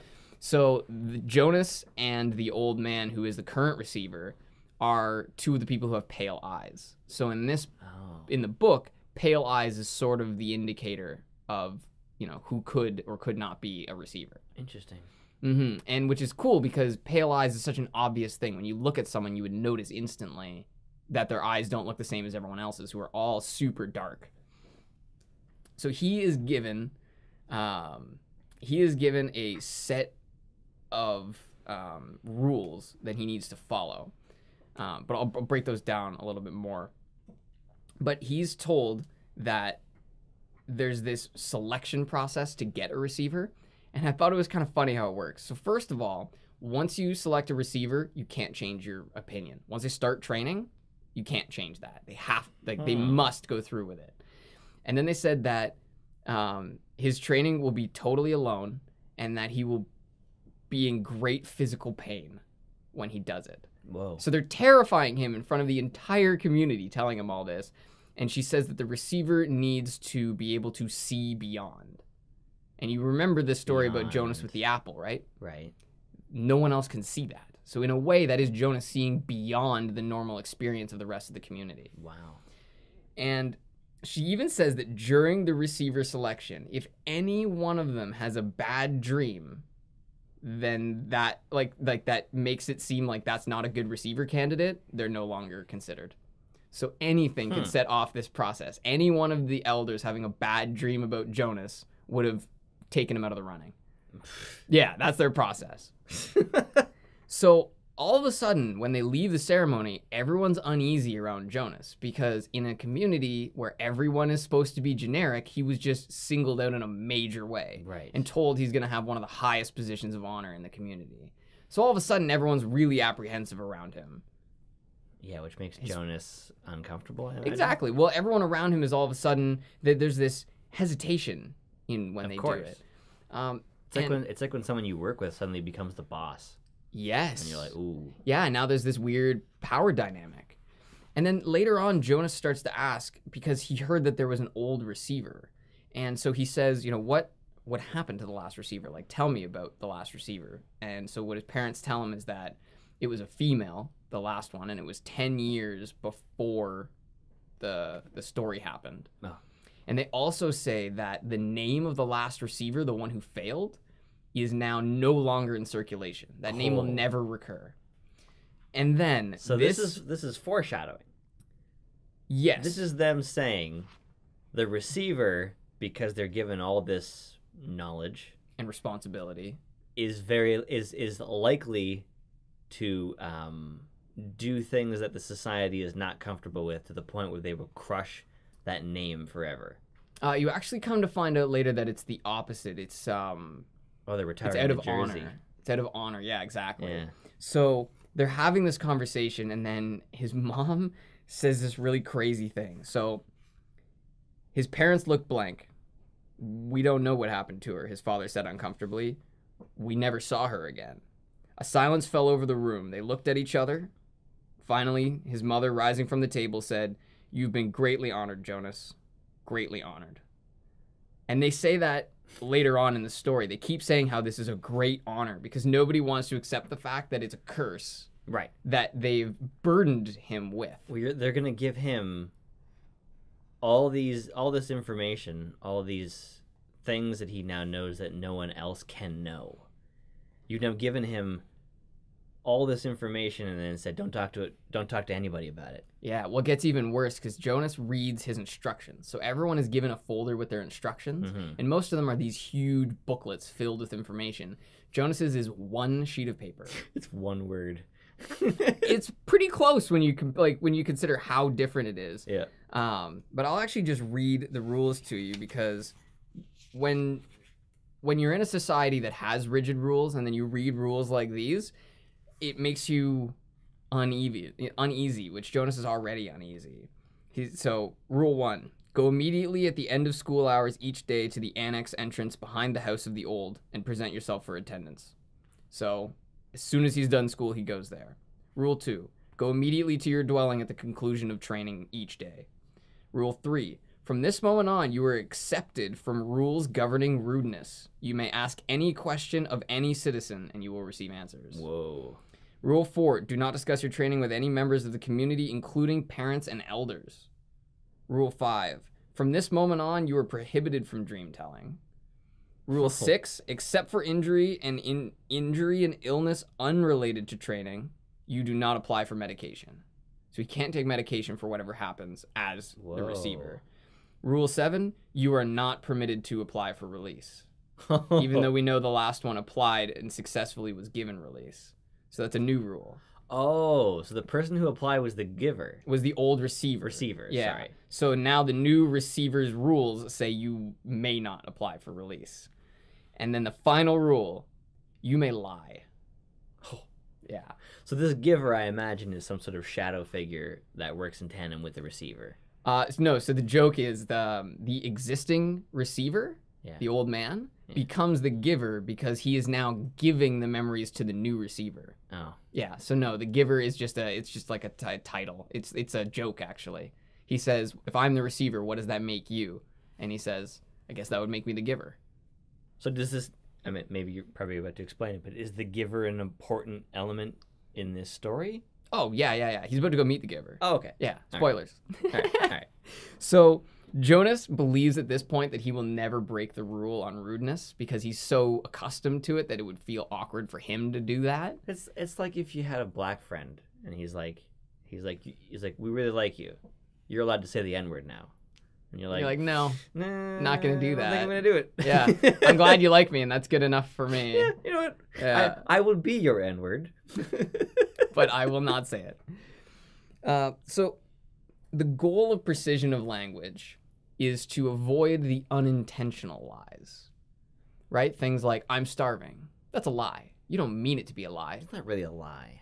It's a lie. It's an exaggeration. a lie when you mean it, and and and that's what an unintentional lie kind of is, because I don't. I, I I think lying is entirely about intention. exactly. So if you put those, I mean, it's an oxymoron. It's like a small, Yeah. sh- it's like a big shrimp. Yeah. Right. But and I guess yeah, some people do consider that a lie when you don't know, but I agree with you. It's more about intention. Well, the most successful way to take on a, a life or an idea that is not true is for you to convince yourself that it's it is real. That's what they tell the wives on the unit when they have to go and like when they have to disappear and become new people. They're like, "We're not going to change your first name because you spent your whole life um, responding to it. We're going to change your last name. This is these are your new jobs. This is who you actually are. So just tell yourself this is who you are. It's not a lie anymore." this Now, is your life. It is a lie because they aren't actually the people they claim they are, but they're like, just tell yourself that this is who you are now. Don't even That's the best way to do it. have two versions of yourself, Yeah. the real one and the and Just the switch. old one. Just switch. Yeah. Yeah. No, it's, it's so true. And so he also goes over the conundrum what if everyone's instructions, the last rule is you may lie? How would you know? People would lie to you about that, right? That was like that guy when we used to play WoW, and he's like, he's like, oh, this, the the one guy that we know has this this uh, uh, this trinket that allows him to to see what the enemy is saying, and I'm like, exactly how can we confirm this information? Because I can't see what he's what they're saying, so I can never. Yeah, I can't know that. You know, like immediately, I was like, no. Yeah. And then years later, we met some dude who knew him, and he's like, dude, he didn't have that shit, Yeah. man. He was making that shit up. the odds of us figuring that out years later. So Jonas finally gets his his new bicycle tag, citizen in training, because that's what all of them say when they Mm. turn 12, citizen in training. And then he finally goes to meet the old man. He goes to meet the giver. So in the movie, the giver's home is situated at the edge of this like floating city type thing. Like they're on this like floating platform with like mist around it. And What? the giver's house is built like right on the edge. So much so on the edge, he has this huge plate glass window that looks out off into like the abyss. Whoa. But in the book, his house is just behind the house of the old. It's just like a different building next to the old people building. They didn't So, have the like- budget to show that shit. That's what happened. No, it would have cost more to put them on the edge of the fucking cliff. It would have been way cheaper to just be like, oh, you see that building behind the other building? Yeah, that's where the giver is. Oh, you mean in the, sorry in the movie he has the the grand. Yeah, this grand thing like, oh, we were always afraid to get near the edge. No, that's not how it worked. They went to the giver's house every time they volunteered with the old because they're fucking side by side. But in the book, it's like, oh, we never wanted to venture near the giver's house. It's just so, it's just shit they just came up with. They just, Why would you change that? I don't know. They changed things that didn't. It ruins like the. You, the I want you to watch it after we're done this, and then we'll come back and have a podcast about how the movie just wasn't as good. It ruins like the theme. Yeah, and instead of okay, spoilers. It's just there's so many things I want to talk about. The movie didn't do well. We got to get there first. Yeah, yeah. yeah. So the attendant unlocks the door to the giver's room, and Jonas is kind of shocked because there are no locked doors anywhere in the community Hmm. except for in the giver's annex. It's the only place Mm. because he needs like pure silence. The annex is that normally where where books are kept? Is that what Mm. that, that that term means? I don't really know what an annex is in a, as a physical space. Oh, yeah. No, I've heard that term before. Huh. I can't say that I have. Well, annex it means to like take over a country, to move yeah, into well, a country yeah, I know, militarily. I know that because I played Gears of War, but um, it was a game mode called Annex. Anyway, no, I've heard that it's like the Hunter's Annex or something like that. Okay, so uh, honestly, it's probably just um, like a place, like a place to like a lounge, Mm. because that's what it is. It's a lounge filled with books, and it is. It's a like a luxurious room that he lives in. But I started to get to thinking, I wonder whether the giver is a prisoner or not. Because when you think about Jonas being burdened with this, yeah, in a way, he's a prisoner. And that sort of goes to show like how in in the movie it's actually way more obvious he's a prisoner. Hmm. It's like it's um, made more obvious by the authoritarian type thing. Um, but in this it's it's alluded to but not really.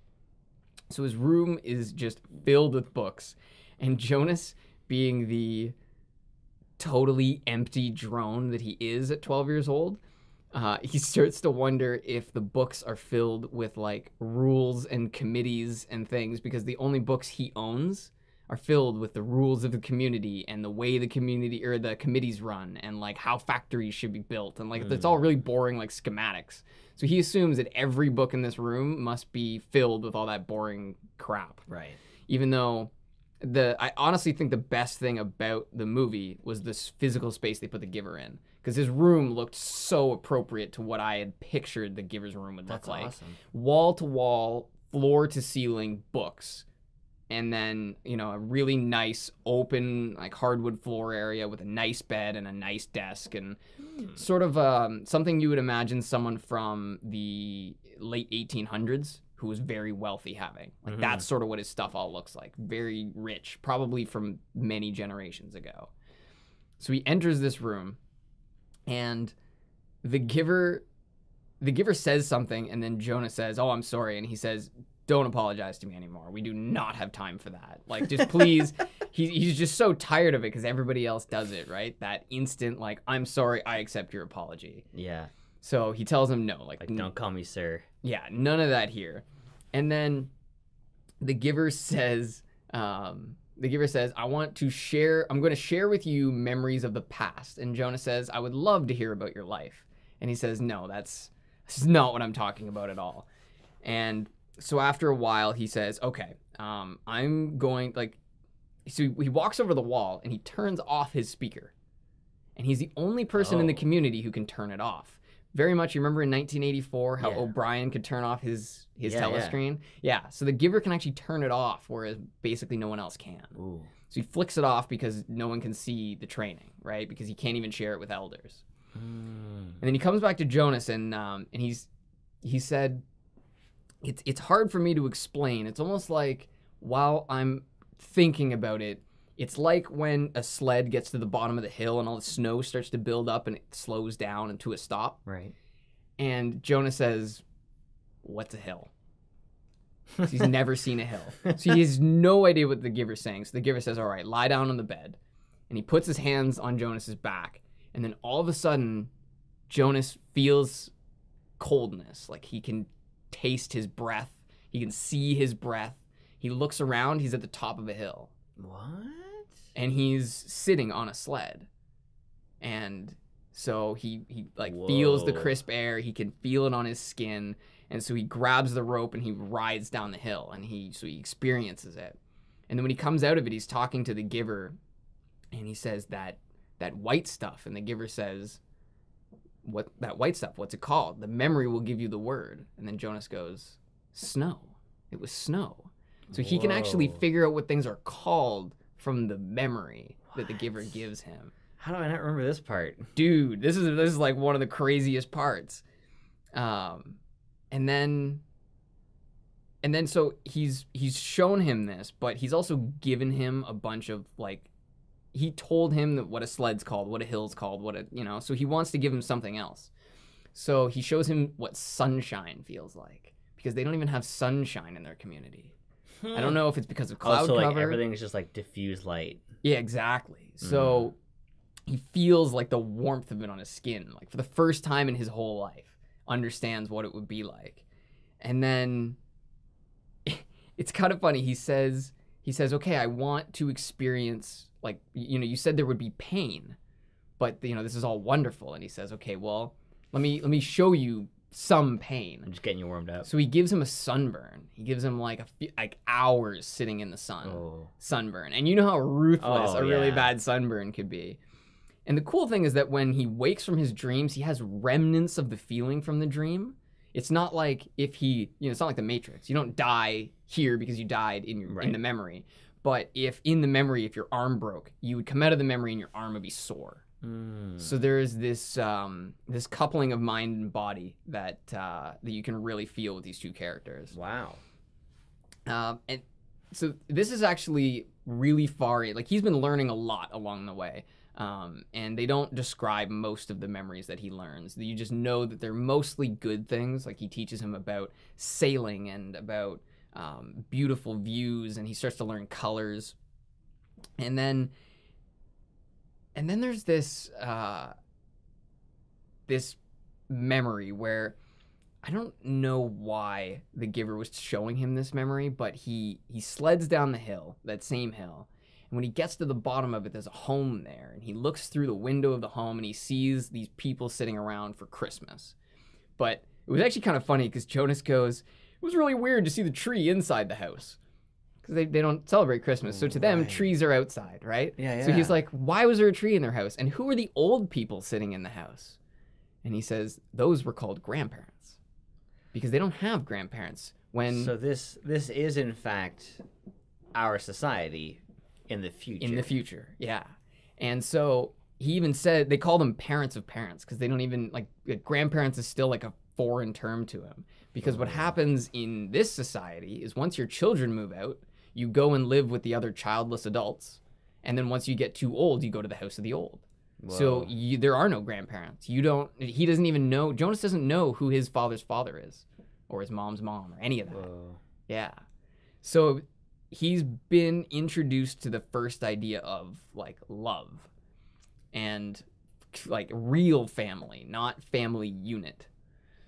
And that scene is actually really important. I find that that he shows him what a home is, and also the just remember the fact that he sleds down a hill and sees the home because that ends up coming back later in the story. Mm. A little bit of foreshadowing. So Jonas finds out that um, Fiona's been working at the House of the Old, and apparently they use a discipline wand on the House of the Old people too. Really? Yeah, so they discipline anyone who's old enough to walk. Holy. so yeah, um, and also one day he sees the change in Fiona's hair, that same change that he saw in the apple. because because- Fiona's been a green-haired lady the whole time. Are apples green, bro? Well, I mean some are, but Oh! ha! You know what? I didn't even You got think of me. that. You fucking got your- me. You played yourself. yeah, yeah, I played myself pretty good there. Uh, but no, so the giver tells him that he's seeing red because the Fiona has red hair Mm. and the apple is red. And then he says, "Did you notice anything about the sled when you were first on it in the memory?" Oh shit! Jonas it was says- brown. Jonas says, "I like I didn't even look at the sled." And he says, "Okay, this time look down at it." And when he looks down at it, the sled is vibrant red Mm. because in the memory, all colors are there. It's only in real life that he has to actually acquire the colors and like learn to Oh. see them. So it's weird because I don't understand if they had a genocide or what, but everyone has the same skin tone, eye color, hair color. So at some point, those who didn't fit that had to have left the society or at least not been in it, right? So I don't know what exactly that means. I don't know if that means that they killed off all the people that weren't perfect Yeah. or if they just through millions of years of selection and breeding bred it out. I don't know. But they've now gone to sameness in all things. And that's why this community is so robotic. That's. You, do you think it could be those pills? Because everyone making, after generations, if you're taking that pill that makes your your eyes go, um, colorblind, then would eventually build your-. Your, kids would get that eventually. Well, and also if you take a if both parents take a certain amount of a drug, the kid will have twice as much of that drug. Mm. Or no, that's I'm doing that backwards. Half as much. No, um, what I was thinking was um, if there's two crickets that have a certain amount of poison in them, and then a bird eats both those crickets, that bird has twice as much poison. Mm. It's. I was just, you know, I was doing the process backwards. I don't know. because know. in this story, grandparents eat the children and then have more kids. but it does make sense that if both the parents were taking something regularly, that it would have more of an effect on the kid, Yeah. especially if the mom took them while she was pregnant. Yeah, Um, like which crack babies. they might not though because they're birth mothers. Is that me? Yeah, I gotta mute that it shit. scared me. they're they're birth mothers, right? So they're probably regulating what they eat and what you know all the things that they're taking in because I'm sure that they're smart. They're smart people. It's just they're weird people. What um, like with a with a with a, a kid born with crack in their system, are they weaker or stronger? A weaker, weaker, yeah. the- right. it- That's what the Katt Williams bit is that they had to give their kid steroids to like compensate, right? So his kid was walking Oh. around like a monster, like stomping around. Yeah, I do remember that his kid was like telling telling him what to do and shit. so the giver's talking about sameness, and he said, "We relinquish colors when we relinquish sunshine, sunshine, and did away with differences. We gained control of many things, but we had to let go of others." Mm. So, in controlling the environment and controlling how people behave, they lost the light of the world. They lost enjoyment. That's one of the greatest things about the movie is that the movie you feel the memories better than the book because in the movie there's you know um, a cold environment you can see his breath you can look around at the trees and the expanse of the hill when he And has color too. yeah, when he has memories of um, uh, family and parties and marriages, you have all this wonderful colors and, and music to go along with it. But in the story, it's it's just described. So you don't really get the feeling the same way. Mhm. So there was definitely aspects to it. But one thing they failed on is that very near the end of the book, the giver tells Jonas that there's one thing he's never shown Jonas, and that's music. Oh shit. And interestingly enough, in the book, he actually even says, I'll give it to you like when we're done, like right at the end. The last thing I'll give you is music, but there's no time because something gets in the way. So Jonas never hears music, not Oh. once in the story. But in the movie, there's like a whole scene with a piano and like music is like the second thing he learns. He Oh. teaches him color and then music and That's Yeah. That's, oh come on, man. yeah, and also Taylor Swift's in the movie. Oh. So yeah, Oh, is it like that Ed Ed? Is it Sheeran? Ed Sheeran. The Ed Sheeran cameo in Game of Thrones? Oh no, that was not nearly as egregious. The Ed Sheeran one at least was like short, and he actually played the character. I don't know. She it uh, she was in it, and it was just There's um there's this not there's this pretty subpar um movie called Skiptrace. It has uh Jackie Chan and uh the guy from Jackass. Steve Steve not Steve, no. What's his name? Help me out. Johnny Knoxville.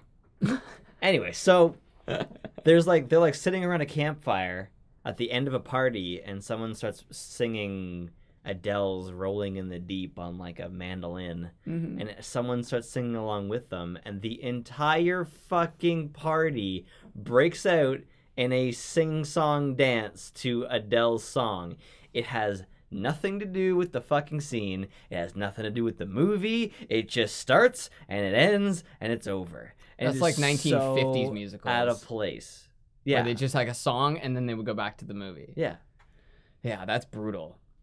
Uh, there's actually a common theme among a lot of these books that I've been reading, and it's where a character doesn't know things, so they try and describe it in the most generic terms possible. Mm. Like, do you remember when I was talking about Frankenstein and he was mentioning that the birds were screaming at him because he didn't have a word for birds' songs or Chirping. chirping? Yeah.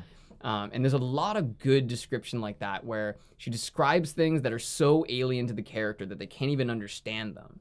Like, for example, Jonas tries to describe color, right? But he describes it as a quality that is not of shape or size. Well, Vsauce says that he says, "Is it is color too complicated to explain, or is our language not complicated enough to, To explain?" explain color. Wow. Yeah. That's an interesting way to look at it. Because, well, I, that's, that's like most things, though. Even even tone or shape. If someone doesn't have feeling or sight, how do you describe shape? It's true. Uh, well, that's the idea of qualia, right? Oh. You can know every single property. uh, So, so the idea behind qualia, to give um, uh, the earliest example, imagine a man that lives in a black and white room. Every single thing he sees is black and white, and he has no way to see the outside world. And that man has described every single physical aspect of what creates color the wavelengths, the intensity, everything about how color works, how color is perceived by the human eye. That man will still never understand what color is until he leaves that room and Mhm. actually sees it with his eyes. Oh yeah, Same way, like you said, if you don't have the senses to be the basis for it, you have no way of even conversing on it. that was my always my issue with the way that schooling was done is that a lot of it was they were they were just telling me what something was and not why I had to care or why it was that way. How it was relevant. Especially with math. It was just like, you know, you do brackets first. Well, I don't know like why. It's like th- th- that's just a rule. Well, But I like I just don't care. Like why would I care about this thing? And then and then you'd have those teachers who got it. hmm And they're like, they would give you, it wouldn't be some bullshit like Apple's story about like so and so like divides the bracket. It's like they would give me some actual reason for why you would ever want to do this thing, and then I understood it. Understanding is a completely different thing than listening. hmm Like I can take that information and I can tell you it back to it, you on a test, but I don't get it. I just know that the word. Yeah, and there's a lot of that. There's a lot of regurgitation that happens on tests. And so Jonas has now experienced a lot of things, but not a lot of pain. The only pain he's really had is that sunburn. So he asked, he, he wants more. So he, the Jonas is pushing the giver, and the giver finally says, okay, well, I'll give you loss. So what he shows him is a scene in which um, this is actually the first time Jonas sees non-white people because he sees a scene from Africa where poachers are killing an elephant and the men are all of dark skin. And this is also the first time he sees a gun because they shoot the elephant and kill it. And he perceives all of these things. He understands what a gun is through the memory alone. And when the elephant is killed and detusked, the poachers leave, and then the elephant's spouse comes out of the woodlands and like shrieks.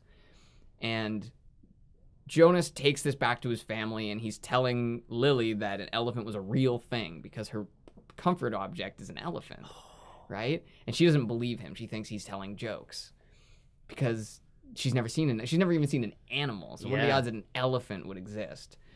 And he tries to show her, but it doesn't work. He tries to like put his hands on her shoulders and like will the memory into her the way the giver did for him, and it just fails because she's not one of the pale-eyed so Mm. it doesn't it doesn't work for her. Um, he also talks to the giver, and the giver tells him that he was married once upon a time. That so the giver was. yeah, so Jonas could get married. That is allowed. But imagine how brutal it would be to be married to someone and not able to tell them what you do all day long. Yeah. And like the things that burden you and it would be a tremendous weight and it just I mean there's a reason he's not married still Right. right? You know, Right. he was, Was. married exactly. Um, and they can't read the books. They can't do anything. They can't even go in that office of his. Mm. So his family is, you know, it's almost like it's almost like a pet. You know, oh, I'll see Right. you. I'll see you in the evenings. Like, yeah, it would just it would just be weird. I, but I guess the other option is live your whole life alone Mhm. right? Um, so the giver wishes he was asked more things. He wished he was consulted by the elders more often because he feels like he could make change, like make good change for Oh, the okay. people.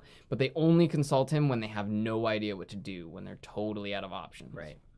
And I- I guess this is also something he's wishing for Jonas. He wishes that Jonas would eventually be consulted more as well. Like he mm-hmm. just in general wishes that the people weren't so. Uh, actually, to use a word that Winston Smith uses in 1984, he calls his wife grossly dumb. Oh. And that I think is a good term for the people of the society, not at their own fault, Mhm. but they are just grossly ignorant. And I think that he wishes that there were some opportunities that that could be fixed. Right. But they don't want that because They that would. It's a lot easier to control a dumb populace. And it's easier to burden one person than the whole population. Right. But what he does talk about is that the last receiver that failed, when she was released, all of the memories went back to the people because they were no longer contained within the receiver. So there's some magic going on. There's- yeah, It's- it yeah. is. It is literal magic. So Oh, so they are actually taking feelings and, and, and memories, Mm. taking and, them from the people like pouring them into somebody, storing them in one person. And then she just like released it all back to people. Well, she'd only been trained for a few weeks, maybe four or five weeks. that's all it took. That's all it took. done. And and apparently the community was in total disarray when it happened. Of course. And then after a while things slowly got, you know, back to normal. Um and then I think the giver insults Jonas or something and he looks to the speaker for like support because he expects the speaker to like reprimand the giver. Mhm. But it just proves that he still hasn't quite got it. That Hmm. he is now different. You know, the rules don't apply. You may lie. Like you're not a normal society. You're not a normal member of society anymore. Mhm. But yeah, Jonas is still having difficulty with that. And this is what I was telling you before how they keep saying this. Um, the giver says to him, That's right, and you will be next. A great honor. And then Jonas says, Yes, sir, they told me that at the ceremony. The very highest honor. And this is where I feel like they must be speaking sarcastically, even Right. though it's not implied in the actual text, because they're both very aware there's no honor involved. There may be um, status, there may be wisdom, but it's not. It's something they do because they have to, Mhm. not because they want to. Mm. And I just think it's really cool the way they keep doing that. You've been greatly honored, Jonas. Right. Right? It's it it sounds it sounds so creepy. Yeah. You know, it's kind of like um, may the odds ever be be ever in your favor Right. from the Hunger Games. They don't those words don't mean that. They don't mean may the odds be ever in your favor. They mean good luck don't die. Right? Right. Same way the you've been greatly honored means you should be happy that we fucked you. That's what they're saying, right? It's like in a war movie when they get like ambushed and there's fucking explosions going off, and he's like, "Are you all right?" And he's like, "Oh, I'm just happy to be here." And it's like a playful thing that is not really. It's not said in a sarcastic way, but the context makes it sarcastic, and both people understand it. It's a way to uh, deal with your situation without actually getting really angry and negative about it. Mm-hmm. It's true. It's an outlet. Right. Right. Yeah. That's, uh, that's a great. Yeah. So on some days, Jonas is actually sent away by the giver because the giver is in too much pain to do a training session with him. Oh wow. And so on those days, he would show up and the giver would be all hunched over and he would send him away and he'd say he couldn't do it. And on one of those days, Jonas is recalling the memory of warmth that he was given, like on his first day of training. And he actually feels warmer. Like his body physically feels warmer when he remembers the memory. Hmm. And that's part of like this body mind coupling thing. But he goes back to the giver and he finally says, I want real pain. Like, I want you to, because we have to start at some point. So I want to start now. And so the giver thinks about it for a while and then he says, Okay, I have an idea. I was going to read this section, but it's actually pretty violent. And he like vomits into his own blood at one point and like snaps his leg. So I figured I would just describe the general idea. So he's still on, so he puts him in the memory and he's on a sled, but it's much, much colder outside. And the ground is not soft, it's ice instead. So as he's going down this hill, he starts spinning sideways on the sled Oh shit. and then flies off the sled, breaks his leg, and bloodies up the side of his face from from like the ice as he slides down it. Yeah. And then when he comes to a stop, yeah, he throws up into his own blood in the snow. And then finally wakes up.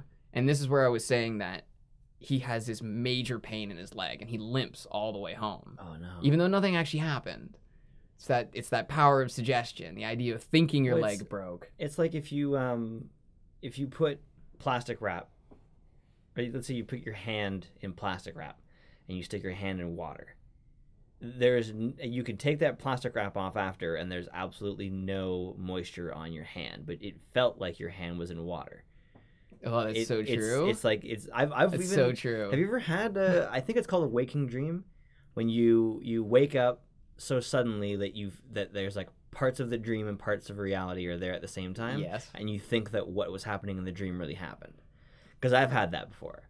I was like suddenly woken up one time and actually thought I believed there were actually people in my room like Oh. holding me hostage. It was fucked up Yeah, that's and then I up. came to, and the the the line between reality and the dream was so blurry that I like still sat there, waiting for it to like was like concrete still itself. thought that it was happening, but didn't see anybody. And it was like I've only had that a couple times in my life, but it's it's pretty fucked up when it happens. Yeah, and I think that that's sort of the feeling. And he even thinks about the fact that he can not take any medication, right? Because he's told he mm. can't take pain medication for that. Yeah, And he realizes that his family has never felt real pain. right. And he hadn't either until that moment. And then each lesson after that included some form of pain. So if if someone had kids, I mean they're given kids, right? And that kid had to be released. Would this experience be this like sad thing, or would they just be like, "Farewell, child"? Uh, when a kid, like when a child is like doesn't make the cut and has to be released. I mean, if you have a kid already, like let's say that that clumsy kid, Oh, right? That Mhm. clumsy kid. Let's say he gets released. Is that experience for the parents like? difficult for them, or are they just kind of like, well, you know, Not the loss of the kid, but the shame associated with it would be the worst part. So the worst part about it is that their kid just fucked up. yeah. They're not they're not worried at all about their kid. Mm, probably not, no. Oh, because they don't really have a concept of what's happening to him when he's being released. Yeah, that's that's the weird part. The disconnection is so Mm-hmm. Uh, so this is actually something that I thought was was kind of interesting. They they talk a lot about the development of children, and and like I said, it's always super specific. Like for example, the new child Gabriel was growing and successfully passed the tests of maturity that the nurturers gave each month. He could sit alone, he could reach for and grasp small play objects, and he had six teeth. So these are all these are all things that they count as what did I call them? Tests of maturity. So they have a really rigid system for bringing a child from birth to death. Wow. None of that is up to chance the way ours is. Mhm. Ours, we take you from four until 22, well, 18, Yeah, yeah, really. 18, yeah. And then anything you want to do outside that, do what you want to do. Mhm. But in this society, they have a plan for you the whole time. And you fit that plan. You don't get a choice or you get released. So Gabriel is doing well. He's starting to develop and he's still staying with the family at this point because this is in his second year of development. And this is one of the really weird things. In the movie, they weigh children and decide which one's heavier most time. Like like a bunch of times. Like in the movie, they're like, "Oh, this guy's heavier," and they take the one off, and like, "Oh, this guy's heavier," and they take the heavier one. But this only happens once in the book. Identical twins are born, and that cannot fly in the society because Mhm. they're too identical. You need to be generic, but not the same, because that would stand out. So what they do is they essentially, whichever one weighs the most is kept. The other one is released because they couldn't have two of the same. Whoa. Yeah. And so the father's talking about how it's unfortunate that that one has to be released, but it has to be released. And at this So what do point, people think happens when you release a baby? Who are you giving the baby to? send it to elsewhere. Ah, yes, of Get course. sent to elsewhere. There's Well, just it- some like some town like underneath the town. It's the same way when you watch a Disney movie about a talking bear. You don't really think the bears talk, but you're still tricked into thinking bears are your friend, right? Not you and me, No, but most people. a lot of people. A lot of people. They're like, oh my god, like bears are so cute and, and like fun and the cuddly. beloved lion. Exactly. Exactly. Even the lions eat people and bears eat people. But I think it's the same way Lily was talking about how crazy would it be if the child that got released grew up in another community and then visited this community and there was a kid that looked just like him. Mm-hmm. Um, so I think in some ways the parents actually believe that there is an elsewhere. Right. It's in But it's easier to believe that. much easier to it's believe. like it's like watching the news and hearing about something happening, and you're like, well, you know, they had their chance. Yeah, they exactly. made their choice. Exactly. Yeah, they were dealing drugs. The reason why I'm not in prison is because I just was a smart person. Yeah, I made It- better It wasn't growing up in a place where I didn't have to resort to crime to survive. It was the part where I was a smart person exactly. because I am not guilty. And if they don't, if they run, they've got to be guilty because guilty men. Don't, wait, how does it go? Guilty men don't. no run? innocent men don't run. Innocent men don't run. Of course. Yeah, Uh, that makes that's- sense. how- I mean, hey, if you don't go on someone's show to clear your name, you must be guilty. And honestly, that's part of it. They're just they're it's it's willful. They they would rather think that, so they do think that. Right. And at this point, they move Gabriel into Jonas's room because even though he's doing well, he's still keeping the parents up all the time. Mm. So Jonas says, you know, why don't I try? Why don't I try it out?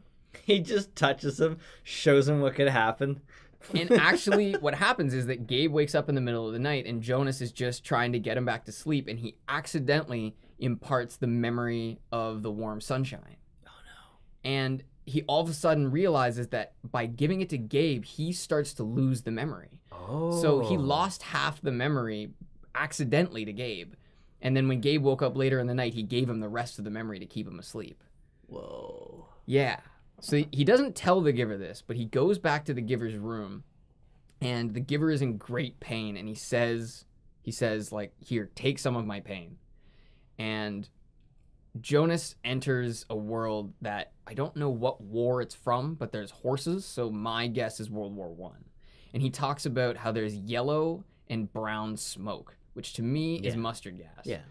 and he talks about how the him and a boy next to him are both dying, and the boy is asking for water, and then when he gives him water, the boy dies. And then he lays there for hours listening to men and soldiers die. This all happens in a few minutes in reality. The kid, sorry? Uh, no, Jonas. Like Oh, Jonas, okay. after the kid dies next to him, has to sit there for hours So this in is the like memory. this receiver is not just the memories of people alive. It's like a pool of like All- humans. All generations back and back and back is what they keep saying. wow. Yeah. So they have all of the memories. And this memory is so horrifying that when the giver is done, he can't even look at Jonas because he's ashamed that he shared that memory with him. Especially Then because he do it? because giving it to Jonas means he doesn't have it anymore. Oh, Right? So he's putting his problems on someone else. Well, it's not his only problem. I'm sure he has other warfare like things in his head. Seen some shit. But it was actually cool how it was done in the book, where it wa- or in the movie, it was unintentional. He was actually on the ground, like reacting to the dream. He was like trying to save his buddy, and then Oh. Jonas tries to help him up.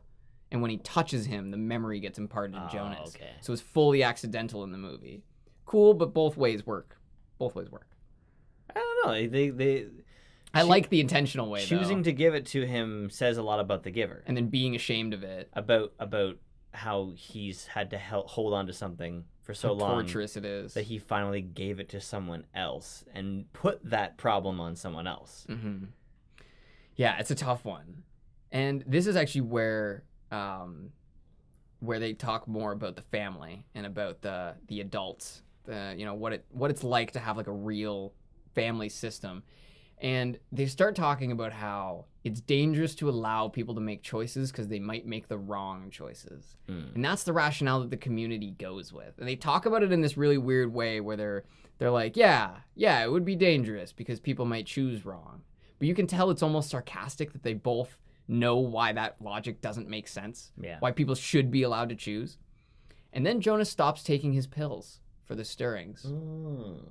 The, jo- uh, the giver doesn't tell him to do it in the book, but he does in the movie. He specifically tells him to stop taking them in the movie. These changes, I don't like them. honestly, it seems like the person read the book and then was writing the script, but the person who got final control over the script didn't read the book. Right? It looked like they went at it and they were like, "Oh, this looks good, but this would be better," And they- without knowing, yeah, yeah, without yeah. knowing what they were really doing. It's like going through Huckleberry Finn and and uh, changing like changing all the grammar so it works. Exactly. like that's how the fucking character talks. exactly. If It he says it. he gon' be dead, that's how the fucking character speaks. If you change it to he will have died, it completely changes who that Yeah. character is. and at one point he says like, "Yeah, that weren't right," yeah, but you can't change that to that wasn't right. yeah, But what it, you can't turn uh, someone from Mississippi into someone from New York and expect that the context will stay the same. well, it's like that scene in Walking Dead where the the kids, the, the Morgan's kid says something like, you know, he he weren't there, and he goes. Wasn't there. Imagine if you reread rewrote that. So he's like, he wasn't there. Wasn't. That's like, so the- funny. What the fuck? That's so true. Well, that's where localization comes in, right? Right. You really, you know, you do need to to make it seem like it makes sense. Yeah. And this is where Jonas starts to realize that in that scene where Lily was angry at the other seven for coming and and butting in line, she wasn't angry. She was frustrated. She never knew real anger, the same way they Oh. never knew real pain. Yeah. And that's what he starts to realize is how much the kids don't have, how much the whole community doesn't have. And this is when they have um, a, a random community day. Like they just have like a vacation day. They're just like, ah, everyone's off today. So Jonas goes to the park to find his friends, and they're playing war. Mm. And they're playing this game of war, and Jonas is so shocked by it because it's bringing him back to this memory he just got from the giver, right? And so he tries to tell them that they shouldn't play the game anymore, but they just don't get it. They don't understand why the game is a problem. Mhm. And this is where I this is where Jonas is being more and more isolated. But in the movie, they fucking ride trays down a set of stairs like you would on a sled like a slide. And like just just weird stuff and there's like these scenes where he tries to kiss Fiona that just totally doesn't happen. Weird. It's just it's very different. Um, it's still good, but it's very different. And so he actually starts to realize that there's there's no point in talking to the other people in the community because him and the giver are the only people that are real. No one else is a full person. You know, that, I mean, I know I should, probably shouldn't compare myself in this situation, but that's kind of how I feel when I talk to a normie about video game design. A normie. And someone's like, that was a really great game. And I'm like, that's actually a poorly balanced, shitty frame rate piece of garbage written by monkeys. And they're like, it got a nine on IGN. And I'm like, it's like when people say, yeah, um, you're not real. yeah. It's like when people just say, you know, that oh, that movie was good. But yes, lots of things are good. But the, we have a higher standard than that now. Way It's higher. too easy to make a good movie. At the same time, it's kind of like I like the I hate everything was talking about how it's difficult for him to watch a movie without being a critic. Mhm. He doesn't really enjoy them the same way he did. Whereas I can watch a movie like Assassin's Creed, which everyone said was terrible, and I actually liked it. And it was not my favorite movie. Probably not gonna ever see it again. But I was like, It was this pretty is- good. This is pretty neat. okay. You know, I, I don't think this is terrible, but objectively, I can look at it and say like all of these things were really weird. I don't know why mm-hmm. this was added. I don't know why that was here. It's You know, choices. like this character wasn't really, this actor wasn't really chosen well, and yet I turned off that part of my brain. Whereas I can't do that with games No. at all. But also games are different. You feel them. Your hands are there. It's tactile. Like kind of. It, I just feel like there's more engagement. There's more sometimes though engagement where I can sure. play a game and I'm like, this is really bad, but I'm enjoying it. Yeah, well, it's the same same way. Like sometimes you just eat like a fucking handful, a handful of Skittles, and you're like, these taste great instantaneously, but I know that I'm not getting anything out of them. But I'm still gonna do it. Yeah. Same way, same way. So Jonas asked the receiver what happened to the last receiver. Or sorry, Jonas asked the giver. He says, "What happened to the last receiver? Like I want to know the real story." hmm And he says that he couldn't bring himself to give her pain, so he focused on trying to give her like m- anguish. Oh, so he fucked up. And what he did was he gave her loss, and it made her so bitter and disconnected that one day she just left, and he found out that she'd been released. Hmm. And Maybe they just told her. Or sorry, maybe they just told people that she applied. um, Maybe she didn't actually apply for release. Maybe she went and confronted the elders about something, Interesting. and they fucking glocked her. interesting. But believe it or not, it's actually polar opposite to that. I really, So- really hope that the end of this book has the elders all walking around with like high-powered uh, handguns. just blasting people.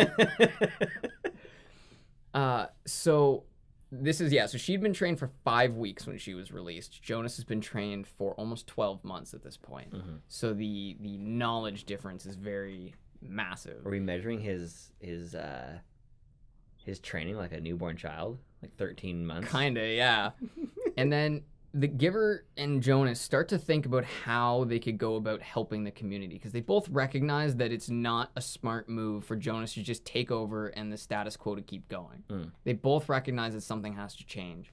But Jonas brought up the old receiver because he wanted to ask about release. Oh, And he says, I want to see a release because in his mind, a release is still supposed to be this wonderful ceremony.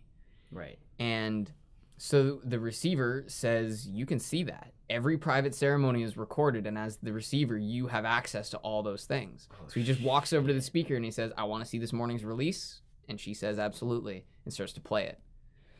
So Jonas is sitting there watching it, and he keeps talking. He keeps saying things like, um, you know, this is the part where this is going to happen. And the giver just keeps saying, like, Jonas, just be quiet and watch. I was gonna what say that like shh.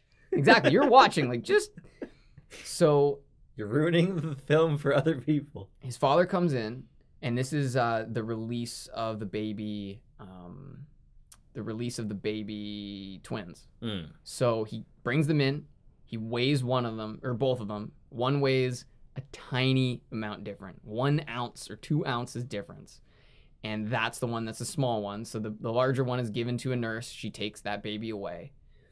And then he takes the baby, he wraps it up in a blanket, he takes a syringe, and he fills the syringe, and then he puts the syringe into the baby's forehead. And the baby starts to squirm, and he says, I know, I know, but I need a vein, and the ones in your arms are too teeny weeny. And then the he fuck? injects the baby, and the baby just dies. And then Jonas goes, he just killed it because Jonas now knows what death is. He's been in war. Yeah. So he says, like, what, like, what's going on? And then he watches, and his father takes the baby, puts it in a carton, and then throws it down the trash chute. Holy. And that's that's release. So Why would they record that? All ceremonies are recorded. But uh, and part of it is that they know the receiver needs to know everything in order to give them proper instructions. So that's part of it is that the Right. giver is, has access to that, even if the elders maybe he don't necessarily. understand how that works. Well, he needs to understand everything if he's going to properly advise. And then the giver tells the story of the last receiver. And I think this is the moment when you find out that the last receiver, her name was Rosemary, was the giver's daughter. So- mm. The giver says that on the day that she was released, the elders came to her, came to the giver and told him that she had been released and then made him watch the release. fuck. And he said he couldn't actually watch because his daughter took the syringe from the nurse and injected herself. Whoa. Yeah. So she was so disturbed by what she saw that, and she even must have known what death was, Yeah. that she chose it even knowing that it wasn't quote unquote release. So this giver guy has been through some shit. Some shit, He for had sure. He's, he's gone through divorce, and we know that's the difficult thing. Yeah, well, his wife didn't even lose a child. Her child was released. The giver's Right. child died, right? Oh shit! So they don't even have like a bonding thing over that serious nonsense. No. So he's alone, Fuck. totally alone. So at this point, Jonas is essentially uncontrollable because he now knows his father is a murderer of children. Whether he knows it or not, his dad. i- that's what he is. And he starts making like puns at dinner and shit like that. Death puns. He's just like, uh, I'm trying to come up with something where it's just like, blah blah blah blah blah, and, and then he's just like, oh, you know a lot, know a lot about that one, Dad. Yeah, I just honestly think he wouldn't be able to control himself. So the giver tells his family that Jonas is needed overnight for training. Mm-hmm. So that's the good and easy out. And then they stay up until the the wee hours of the night discussing what their plan will be. And this is the point where you find out that Jonas has been given so many of the memories that the giver no longer sees color. Whoa. He's given up pretty much all of his memories. The only ones he has left is music because the giver says he never saw beyond the way Jonas did. He heard beyond because he started hearing music before he started getting trained as a receiver. Mm. And uh, so he actually, yeah, he even says, I'll share the music with you. And Jonas says, No, you keep it for yourself Wow. because it's an unselfish thing. He wants the giver to have something left. And then they go over the plan. So this this is like that scene in um, in Mission Impossible where they like fucking tell you what the plan's gonna be, man. okay. So over two weeks, in the moments between that like this time and when the next ceremony of advancement will be, they plan to give all the memories of strength and courage to Jonas so that if he needs those memories, he'll have them. Then the idea is that at night, Jonas would leave his dwelling, which is a major violation. You're not allowed to be out at Mm. night. He would leave his dwelling and he would drop his bike by the river along with a spare set of clothes to make it seem like he went swimming in the river. Oh shit! He's faking his own death. Yes, and then he would leave a note for his parents saying that he went for an early bike ride, which they'd be annoyed at, but not necessarily alarmed. Yeah. Then, once the ceremony was going on, then no one would notice he was missing because his friends would think he was with his parents, his parents would think he was with his friends, and everyone else would just think he was probably with the giver, right? So no mm-hmm. one would notice he was gone until maybe midday that day. Yeah. So when they finally noticed that he was gone, what would happen was the giver and Jonas would get a car ordered for them in the morning, and they would drive Jonas away from the communities first thing as soon as they could. And then the giver would return around noontime when they discovered Jonas's things by the river. So the giver would come back to the community once Jonas had sort of escaped Mhm. and everyone thought he was dead. Because if Jonas gets too far from the community, very much the same way if he dies, all those memories go back to the community. So the giver is a way for the the memories to go back to the giver. Well, no, they would be released to all the people, but the idea is that the giver would be there to guide them, to help them through Oh, it. So they want to liberate the people, but also understand that you can't just throw those memories in them and then just walk away Exactly. it. It'll be you have, chaos. you have to control it. So the idea is that he would arrive at midday. As soon as they discovered Jonas was dead, he would go to the ceremony where everyone was already gathered and start the ceremony of loss for Jonas. And then that is where the community would move on from there. Hmm. So the idea was to bring the community together both physically and spiritually when the memories return. Wow. So it's a great plan. It really is a great plan. The thing is, Jonas really wants the giver to go with him because the giver is the only person that understands him, Yeah. right? So he doesn't want to be alone the way the giver was. Uh, but the giver knows that he has to stay to hold, the, you know, everything together. Yeah. And then this is where their plan just totally falls apart. They're sitting at dinner, and his father says that Gabriel did not meet the standards to be given away at the advancement ceremony and will be released in the morning. Fuck. And this is like the day after they made the plan. So Jonas has no none of these memories of strength. They have no food saved up for them. They have nothing ready to go. But Jonas knows that if he doesn't take Gabriel, he'll be killed the next day. Fuck. So he grabs Gabriel in the night, steals his father's bicycle because it's the only one with a place for Gabe to sit, Oh yeah. and then just steals food scraps from all the houses that haven't had food collection yet at the end of the night. And that's the only things that he has to set out with. Oh, so he just leaves on his bike and just bikes away from the community.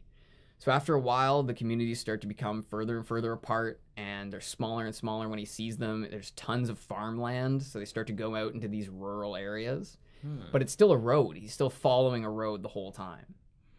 So they would stop when the sun came up and they would sleep. They would eat food, they would find a place that they could like sleep in the forest until the sun went back down and then they would continue. Oh. The reason being those jets that I told you about Right. were just searching the area. So what's really kind of crazy, and this is why I really wish they had done this method, because what actually, movie? Because it was done totally different in the movie. Not even gonna describe how it was done because it was just like a waste of time. but the, so when they're sleeping during the days, the pilots can't see them because they can't see any color, but the pirates, pirates, oh. the pilots have heat sensors. They have thermal vision. So Oh. what Jonas does is he recalls memories of wind and cold and snow to reduce their body temperatures. Whoa. Yeah, so he imparts the memories into Gabriel and brings them to himself too, so that they aren't picked up by the heat sensor. Whoa. Yeah. So that I thought was really, really cool. And then after a while, they start running out of food, and Jonas actually catches a fish with his hands, or no, a net that he built out of like Gabriel's basket. Because he remembers like some fisherman who used to fish that way. I guess, yeah. And then they just he takes like a sharp rock and cuts it open, and they just like eat the fish raw because they Mm. can't make fire. Yeah, so it's a it's a really daring sort of escape. yeah. And the planes are coming all the time at first, but then after a while, they start coming less and less, and they're sweeping in these much more broad patterns. So they either they now believe he's dead, or they don't have the resources to search Right. everywhere. So he starts to see hills. The road starts going up Oh, and down. shit. It starts to rain, which is the first weather he's ever seen in his life, and it he's obviously get- makes him cold and miserable. making it. Yeah, he's he's and he's getting to elsewhere, right? That's where he thinks he's Right. going. And he says he feels that elsewhere is not far away. And at this point it started to snow. Oh boy. Yeah, which is obviously not good because he doesn't have snow gear, right? He's not Oh. dressed for it. So what he does is he puts Gabriel to his to his chest and he wraps the only blanket that they have around both of them to try and keep Mhm. them warm.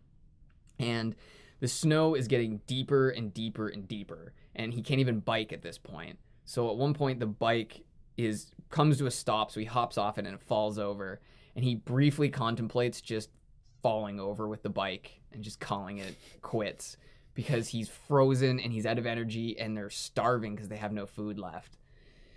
And at this point, all he has to do is just keep trudging.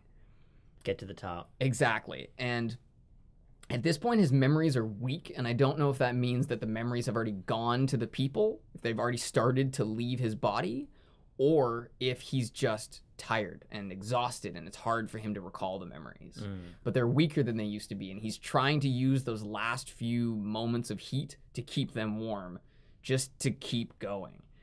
And he's climbing this hill, this massive, massive hill, and he has this feeling that at the crest of that hill is elsewhere. That that's where it's going to be. Okay. And finally, finally, he gets to the top of the hill and he finds a sled there. The sled from the memory. Oh. And then I'll read you, So was it a memory? well, I'll read you how it ends, and then I'll tell you what I think. Downward, downward, faster and faster. Suddenly he was aware with certainty and joy that below, ahead, they were waiting for him, and that they were waiting too for the baby.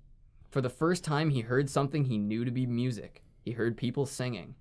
Behind him, across vast distances of time and space, from the place he had left, he thought he heard music too, but perhaps it was only an echo. And that's how the book ends. Holy shit. So, my theory is that the memories have nothing to do with location. My theory is that the memories only leave the body of the receiver when they die. My theory is that the giver knew that one way or the other, Jonas would have to die in order for this whole plan to work. Oh, so there is no elsewhere. I don't think there is an elsewhere. I don't think, and so like like you were just asking, is it a memory or is it a whatever? Is it So this is the only society. Well, no, there's many communities because remember he went past communities on his way out. There's other communities, but he's the receiver for all the communities. But those communities are part of the same society, yes. Right. So like there's only one government, we'll call it. yes, This is some sort of dystopian future where forever for whatever reason there's nothing else but there. They're Mhm. able to control the weather, but they're surrounded by snow, which means that they might be in some sort of like way future where like the early earth has frozen over and they're the only place that has stayed warm and the only way that they can control the people is by doing this.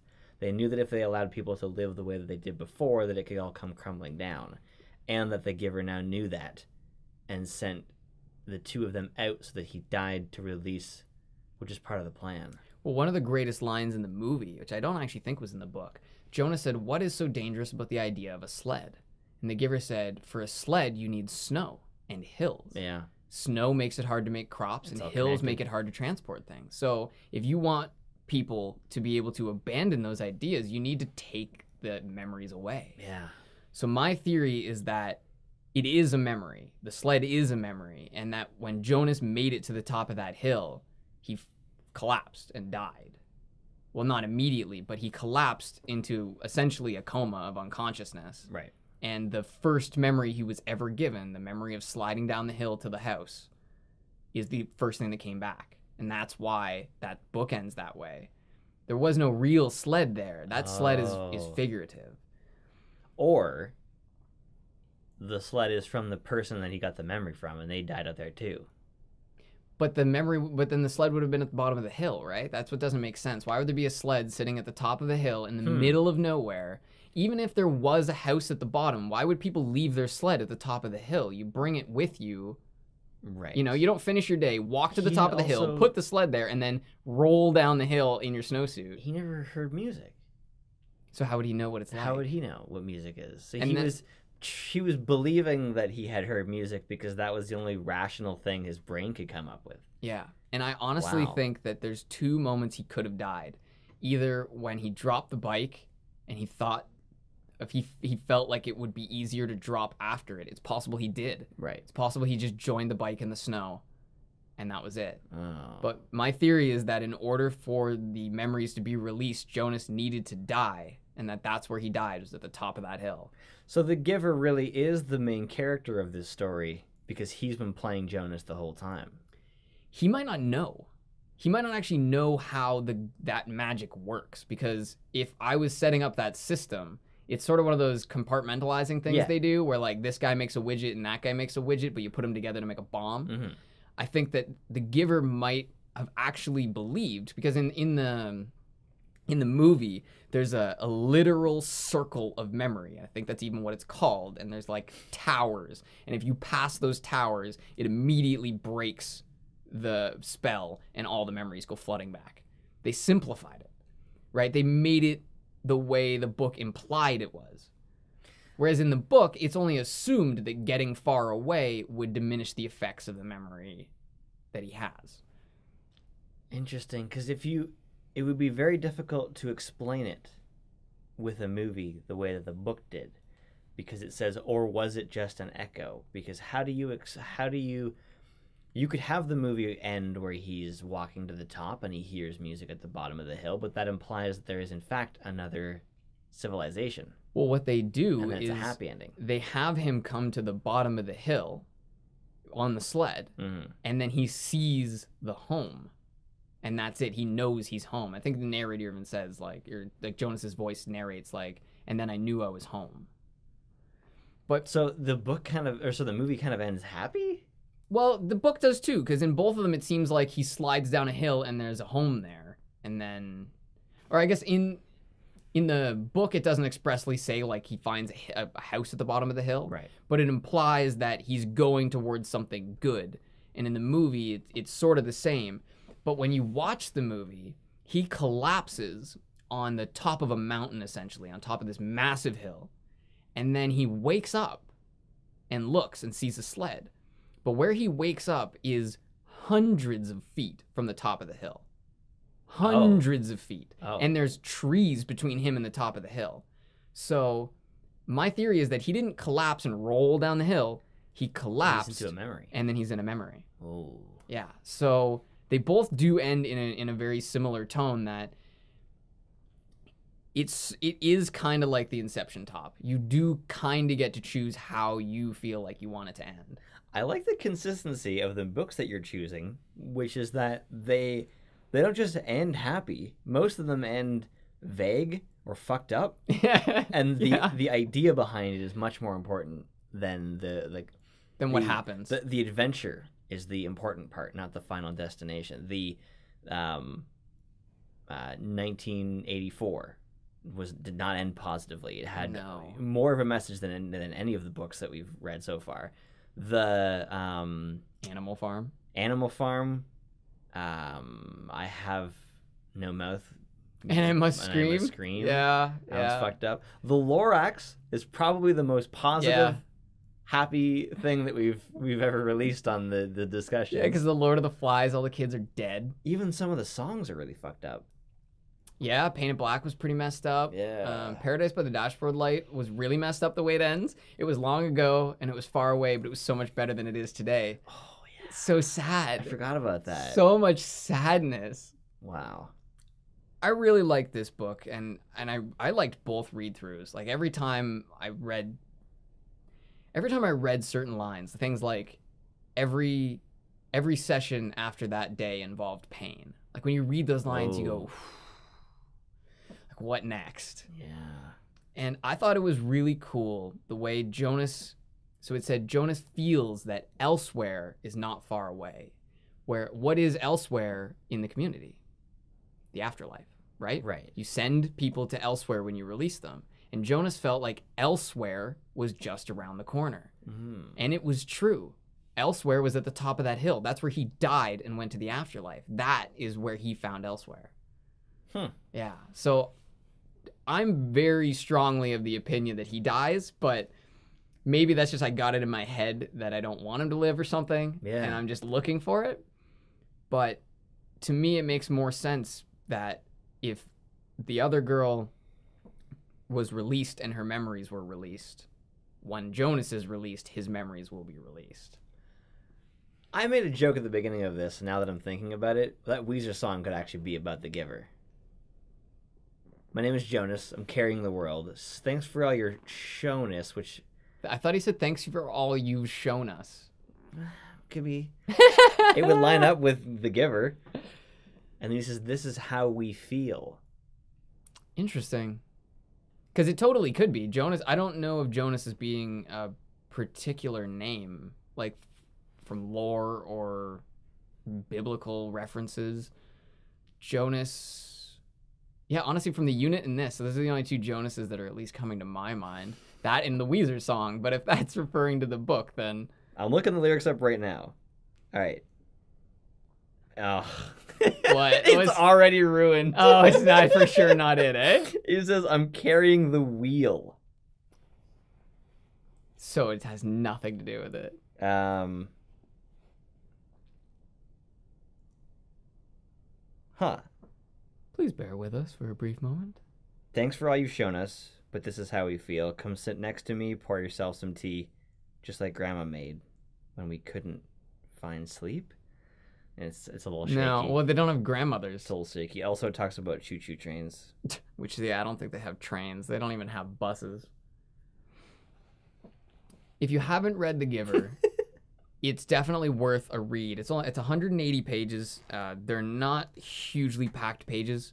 Like Harry Potter is 200, but each page is like, has a lot of words on it. Um, and it's it's a relatively fast-paced story. Hmm. Uh, very much like uh, um, the most dangerous game.